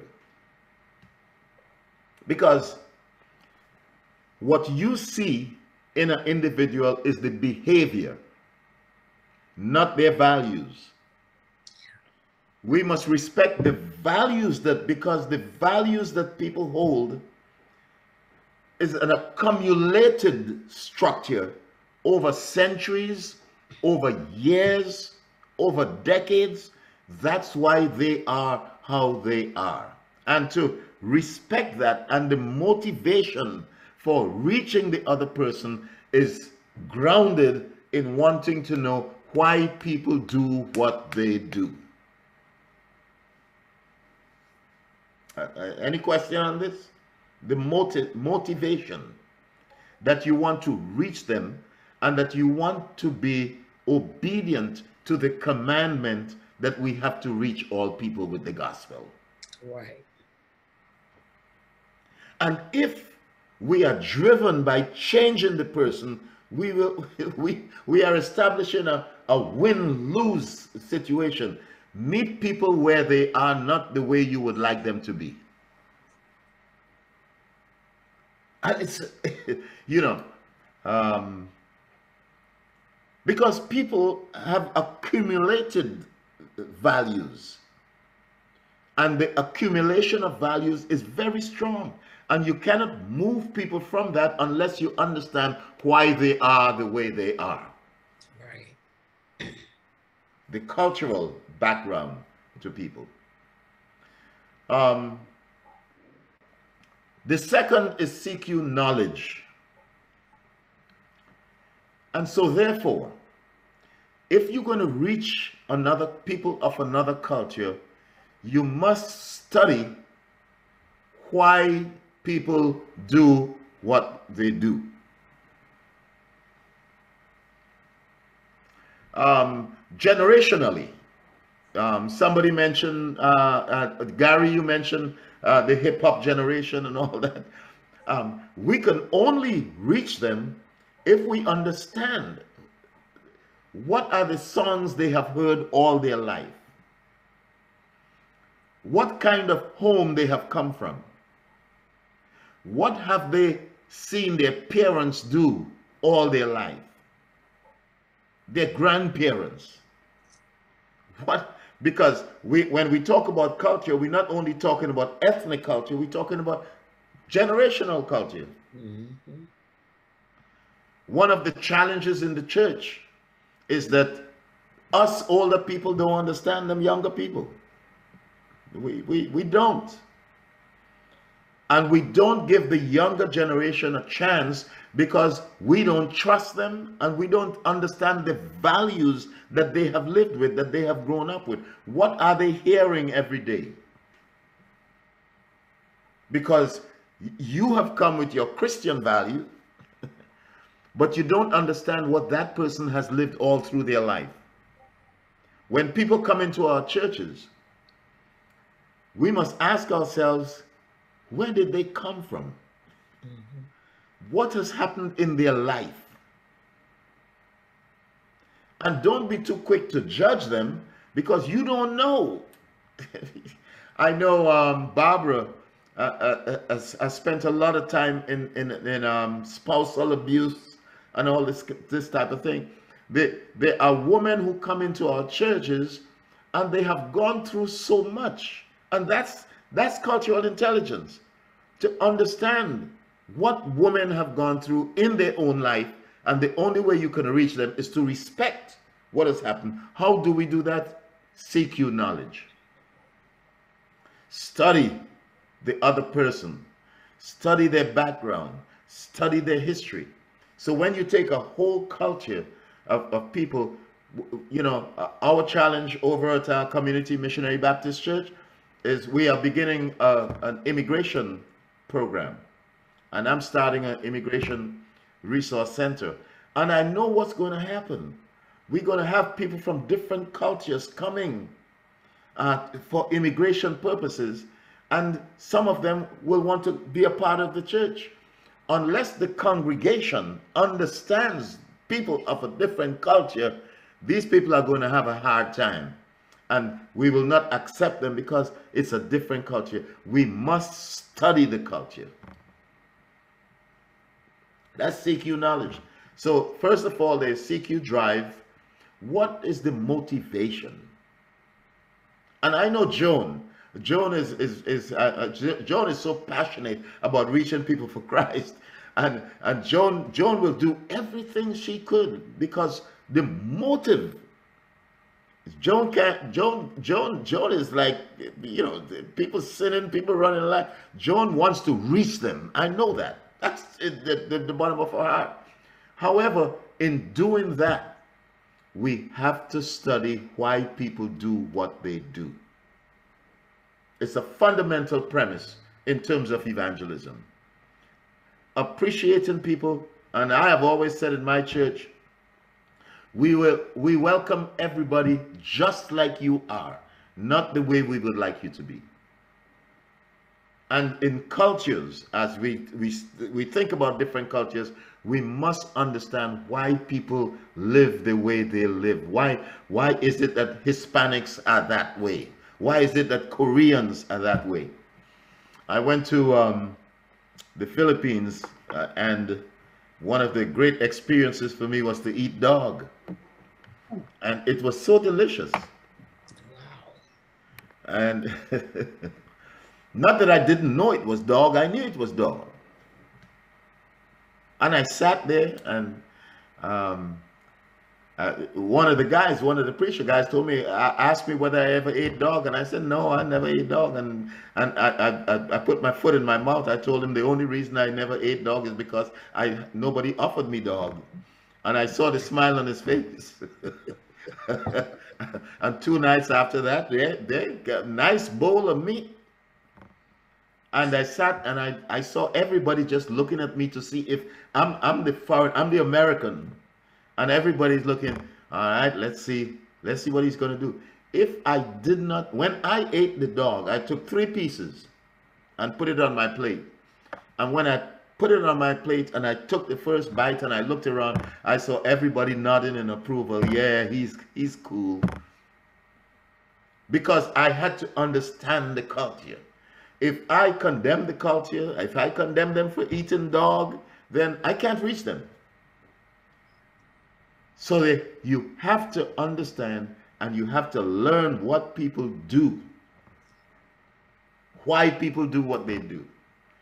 And I got back into the States and I I, I sent out a little thing and I told people, boy, I had dog and it was so great. And people were writing me all kinds of stuff. And I took a lobster and I cut the lobster open and I took a picture of the open lobster and I said, you eat that? looks like a dinosaur, looks like something from another age. But to understand people and to accept people the way they are is the only way we can reach them. Cultural intelligence is about reaching people right where they are.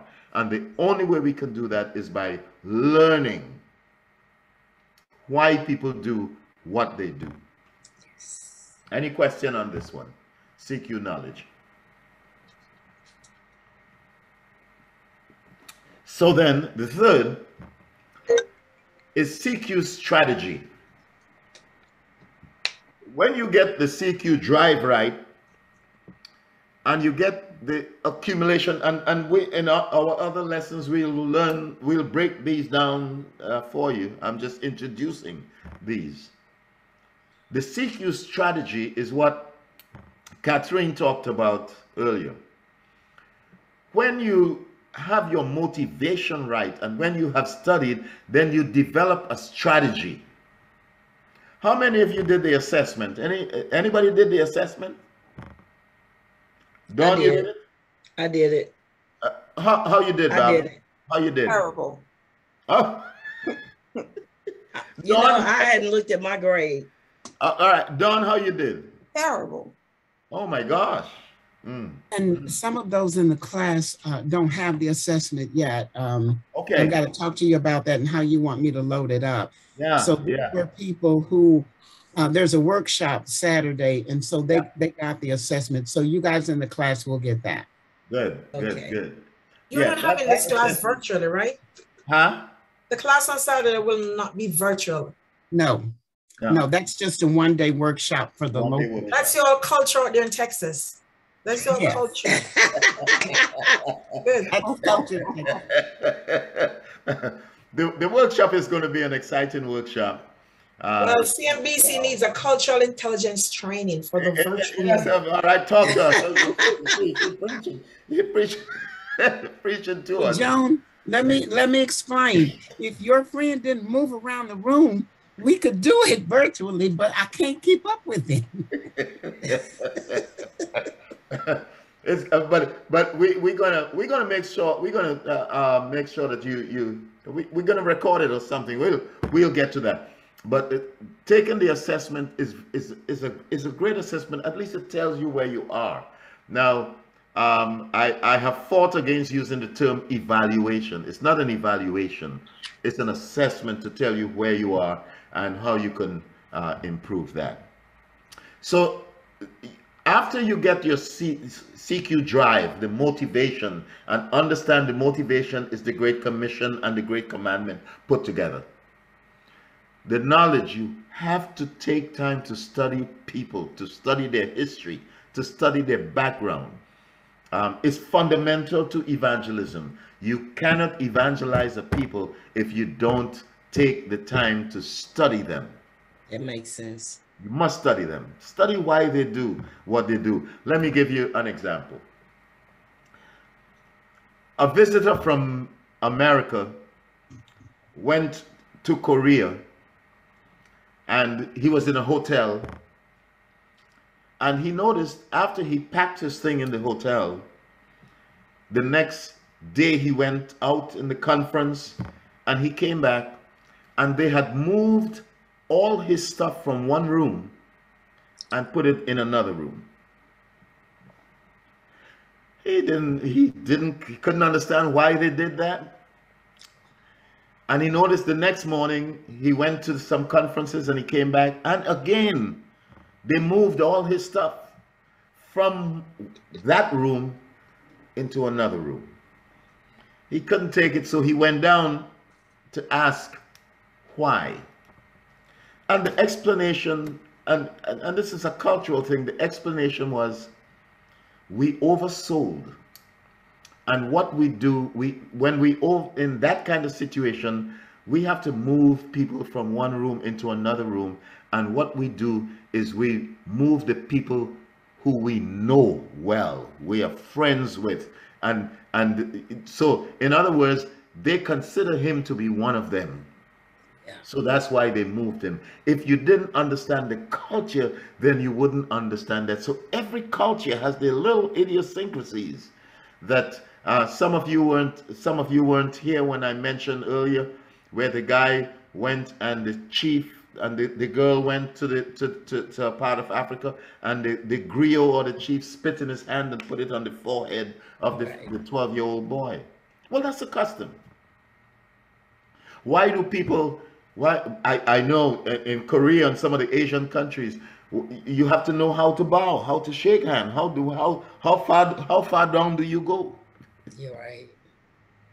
And so you study that because you if you don't study that, you you become an affront to people in the midst of their own culture. When you get your motivation right and you get your knowledge right, then you develop a strategy for how you're going to deal with people. So the reason I ask you about the assessment is that there is a question on the assessment and it, it, it is phrased different ways. Yes. When you go to a group of people who are of a different culture, do you plan how you go or do you act spontaneously? I ask that of you. When you when you know that you're going to meet a people of a different culture, do you plan ahead of time or do you go with them and just spontaneously act? How do you do? Tidmore. I remember answering that question. And I particularly, yeah. because if I don't know, I like to study or investigate to see what am what am I getting getting into? So mm-hmm. for me, I remember that question. I love the whole assessment. I answered I would plan because I would need to study a little bit to see what I'm getting into just so I would not offend anyone. I used to work for Nissan Motor Acceptance and Matsu, uh, we had a Chinese president. And when he came, it, konnichiwa means hello and konnichiwa means goodbye. Mm-hmm. So when he came, he only came to a certain people, which was us because we were in a different department. And we had to know how to, you know, say konnichiwa when yeah. we spoke to him and also say konnichiwa when he left. Because if we didn't, it would be disrespectful. Yeah. However, if we didn't ask the question on, well, how should we treat him? I'm not Japanese, I'm not Chinese, but they come in, they eh, you need to know or at least have some type of clue. You develop a strategy. You develop a strategy. Yes. Right. Um, Tidmore, you were getting ready to say something. Yeah, what I normally do is I'm a very inquisitive person. I try to prepare myself as much as I can, particularly when traveling. But I also, because they're an individual, I try to ask them their point of view as well. I'm not shy to ask. I don't make the assumption, but I'm not shy to ask and, and go along to get their personal point of view because you just can't assume. You just have to be uh, okay to ask. Okay. So I develop a strategy as I go along and ask. Good. So therefore, let me ask again. When you go to a people of a different culture, do you dress like them or do you dress the way you always dress? That that all depends on how you're prepared prior to going. Okay. So it's good to know what what is expected. yeah. Um, you, you just have to ask that question beforehand so you know what's expected because it may be a norm that may be not of their culture. It may be whatever is accepted wherever you are. Okay, let me ask the other So- question, the driving question. Would you eat, do you eat the food from a, dif- the people from a different culture? Are you comfortable eating their food? Is that a challenge for you? No, it's not. Okay. Anybody, is that, is that a challenge? Not for me. I travel and I just eat what's provided. I pray that God takes out everything that's bad. Even if you have to push your finger in your mouth and throw. No, I Let me traveled give you a- once. I jumped from a plane to a stage and I was very hungry. I had a headache. And I had to take this painkiller before I, I sang. And when I was finished, the guys in the band came, knock on my door and say, Hi, Sister Froggy. I was like, Sister Froggy? they told me I just ate frog. But if mm-hmm. they did not tell me, I would not know it was frog. Yeah, yeah. So I think it's their food. They're not dying. I like different foods. I like. I don't like to eat the regular foods. I, if I travel, I'm gonna eat something different I've never had before. And so therefore, strategy is very important. We how we must know before, especially if, a, if the person's of a different culture, we must plan how we're going to do. We must plan how if you're going to excuse yourself, plan how to do it. Because you could offend you offend other people. Let's take the Native Americans, for instance. Um, I, I attended a meeting with a lot of ministers, about 20 ministers, and one of those ministers happened to be a Native American, an ordained minister as a Native American. And as we were having our devotions, he pulled out a pipe and lit the pipe. It's a Yep. peace pipe. It's not Yep. something that he's smoking. It's a Right. peace pipe. And you know, and he started to go around the room, and every you know, as he went from person to person, they would just take the smoke, and Yep. you know, it's a it's a part of a, their, their custom. Yes. And I was so offended when I saw some ministers when he went to them, they just backed off. Wow. It was an insult to him. Yeah. This is their custom. He was a minister. He was a Christian minister, but this is part of their Indian culture, their Native American culture, and some of that remains with them. What do you do? How do you strategize? I I was with the Samoans, um, and let me give you this. This is a, an example of what you, you do. I went to do a revival, and the Samoans, I, I you know I'm I'm preaching for them.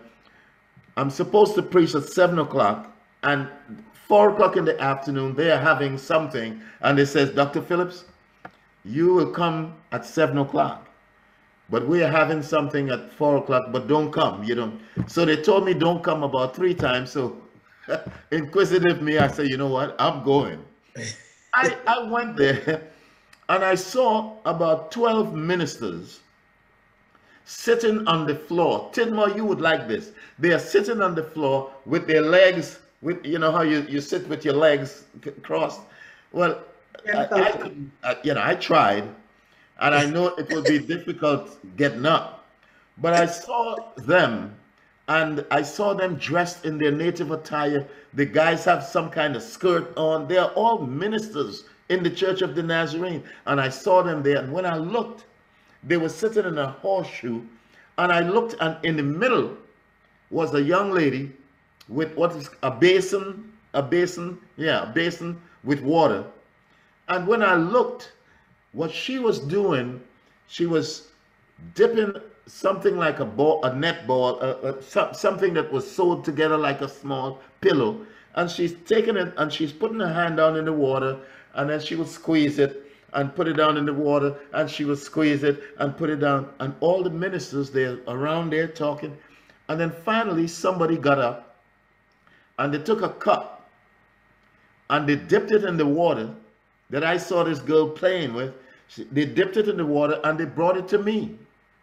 Well, I didn't know what to do. I, I'm sitting now, and I suspect that I'm supposed to drink it, but I I see her hands in the water. I, she's just taking it up and down, and I just looked, played stupid and dumb, and I just looked, and and then the guy just went to somebody else and he gave it to them. They said a prayer and they drank. He went to two other people and then he finally came to me. so what am I going to do? These are all ministers. These are all Christian ministers.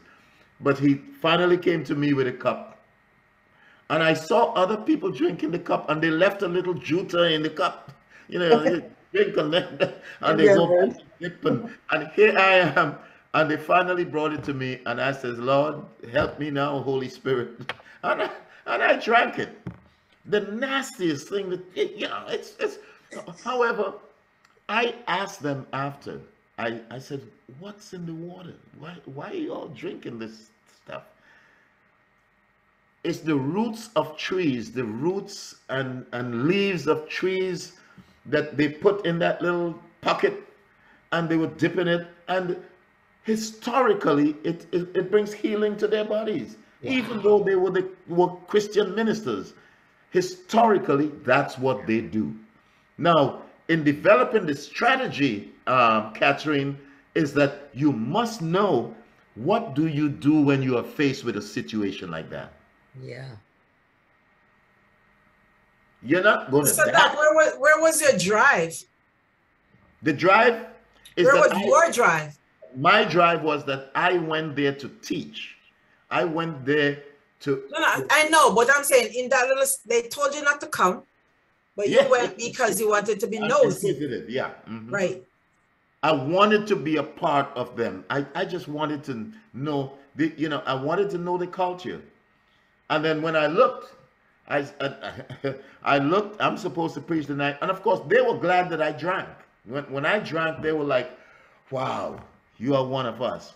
But, I, but, but they're not talking a language I can understand. But I knew I'm speaking, I'm doing a revival, I'm speaking. I wanted to know the culture. I wanted to know what these people these people do. And then I looked and there's a, a pig that they take the whole pig and put it under underground and put the fire over it.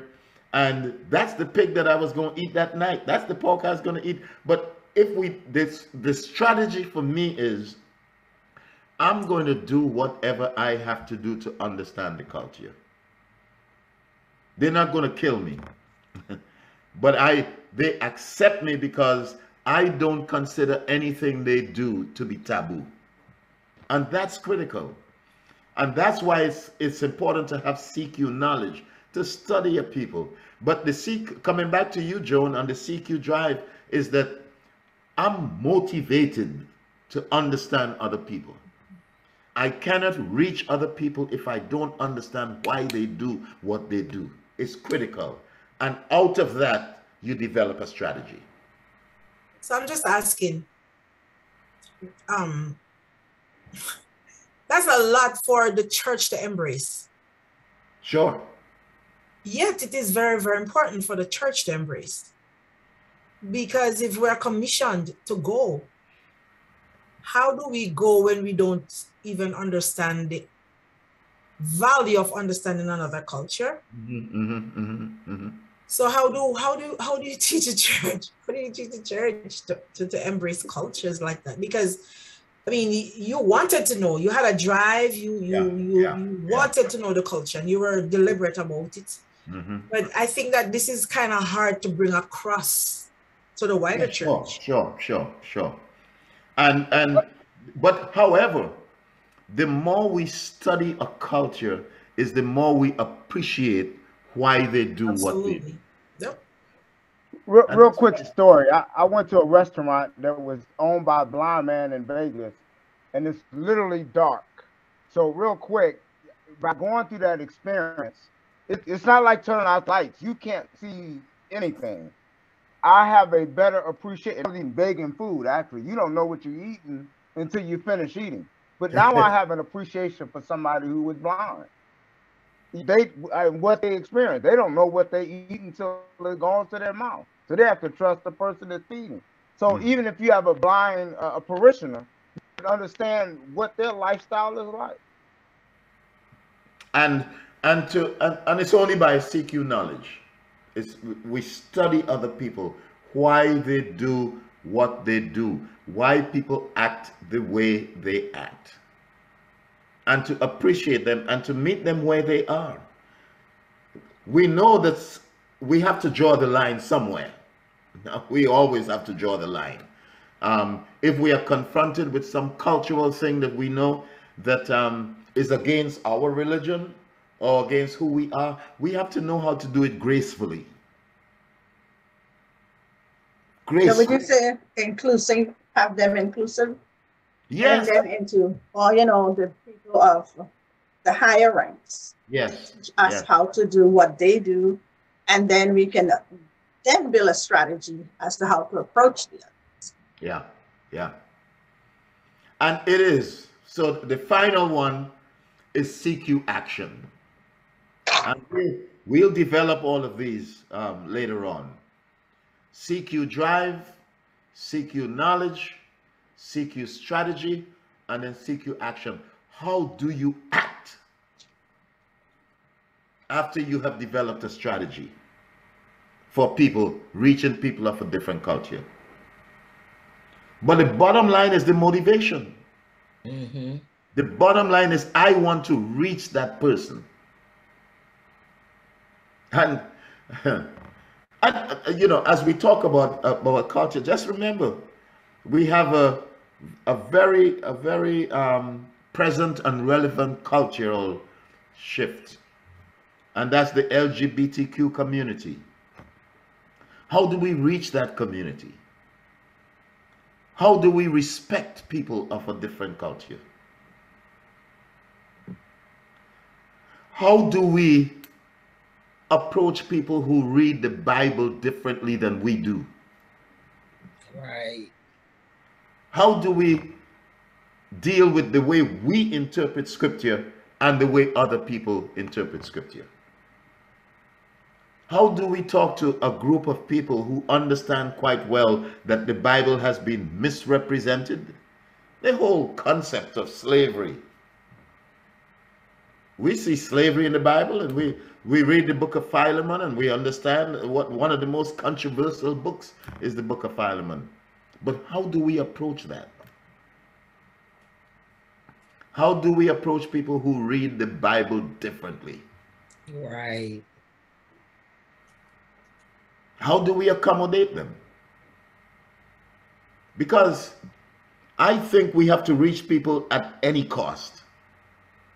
And sometimes we have to take our own values and put it in our pocket so that we can reach the other person. Right. I agree. That's the task. And Joan, that's the motivation. I'm going to reach people at any cost.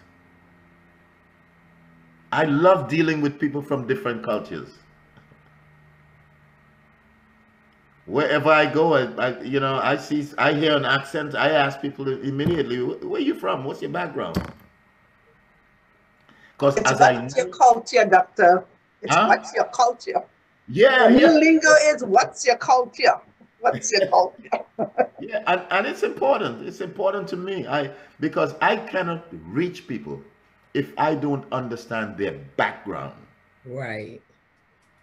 If I don't understand why they do what, and this is what we will be doing in this class.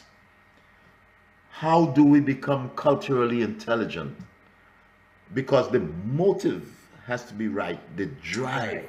I want to reach other people. I want to be obedient to scriptures. Yep. Yes. That's it. That's it. But I also think that the way that you're socially inclined plays a big deal Yeah. because you have to you have to love people Mhm. Right. That's true.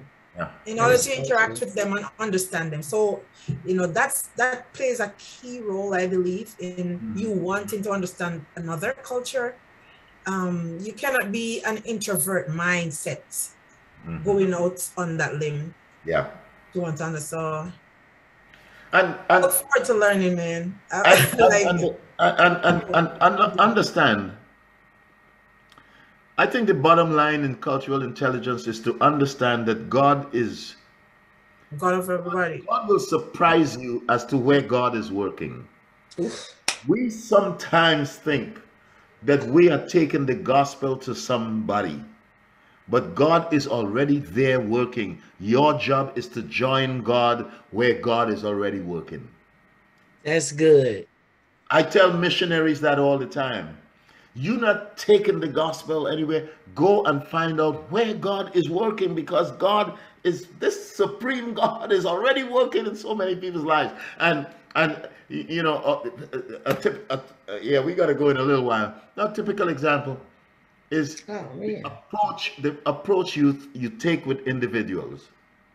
When you hear somebody's story, it's better to tell them how close they are to Christ than Yeah. to tell them how far they are from Christ. Yes.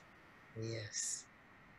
Not Yes. how, you know, you hear a story and you are able to say, you are this close to the kingdom. This Yeah. close. Not how far you are, but you are this close. In spite of your cultural background, Yeah. God is already working in your life. Yeah. And I want to join you on that journey. Yeah. So, Doc, I, it's safe to say, therefore, that cultural intelligence resides in our hearts as well as in That's our where it starts. yeah, in our hearts. That's right. The, Wow. the love, the love of the other person. Indiscriminate love. Yes, sir. If you, if you love the other person and understand that God is already working in their life, Yes. and to say that I'm joining you in this journey to bring you closer to this God, rather than telling the person how far they are Right. From God.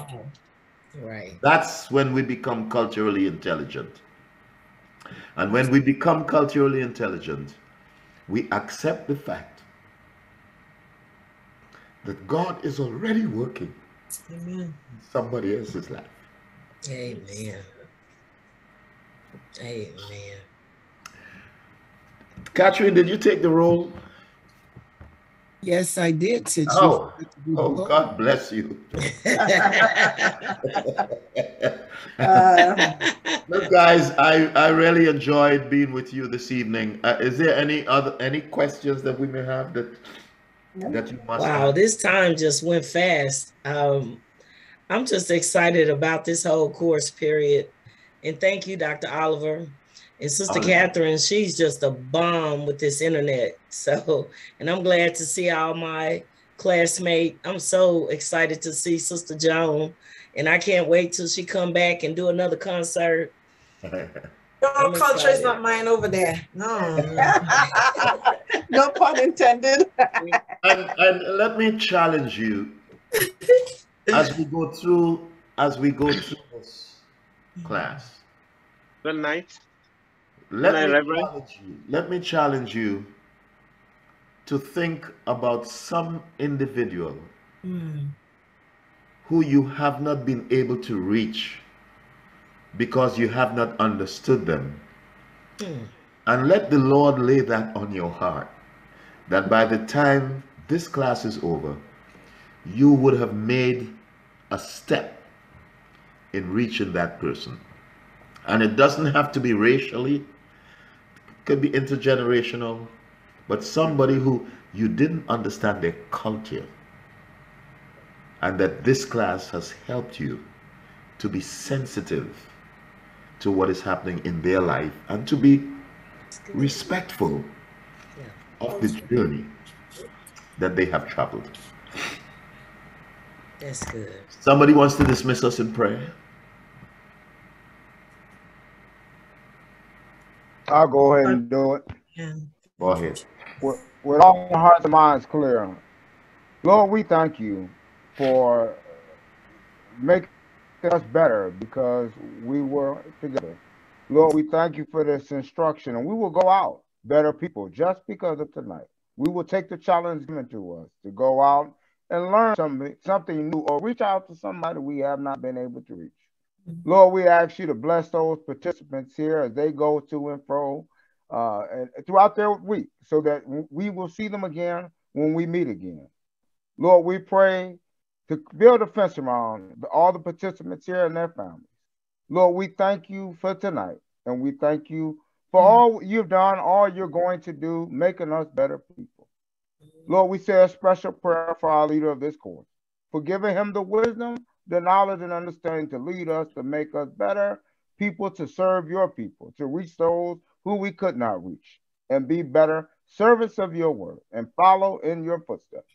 We thank you for this class. We thank you for our instructor, and we thank you for each other. In your son, Jesus' name, we pray, amen. Amen. Amen. And look, for those of you who are in the American side, um, you will get the copy of your book on Saturday. Those, uh, Catherine, make sure you have the address, a mailing address for all the people outside of the United States, these guys in the Caribbean, and make sure we ship a copy of that book, The Elephant in the Including the people that are virtual in America.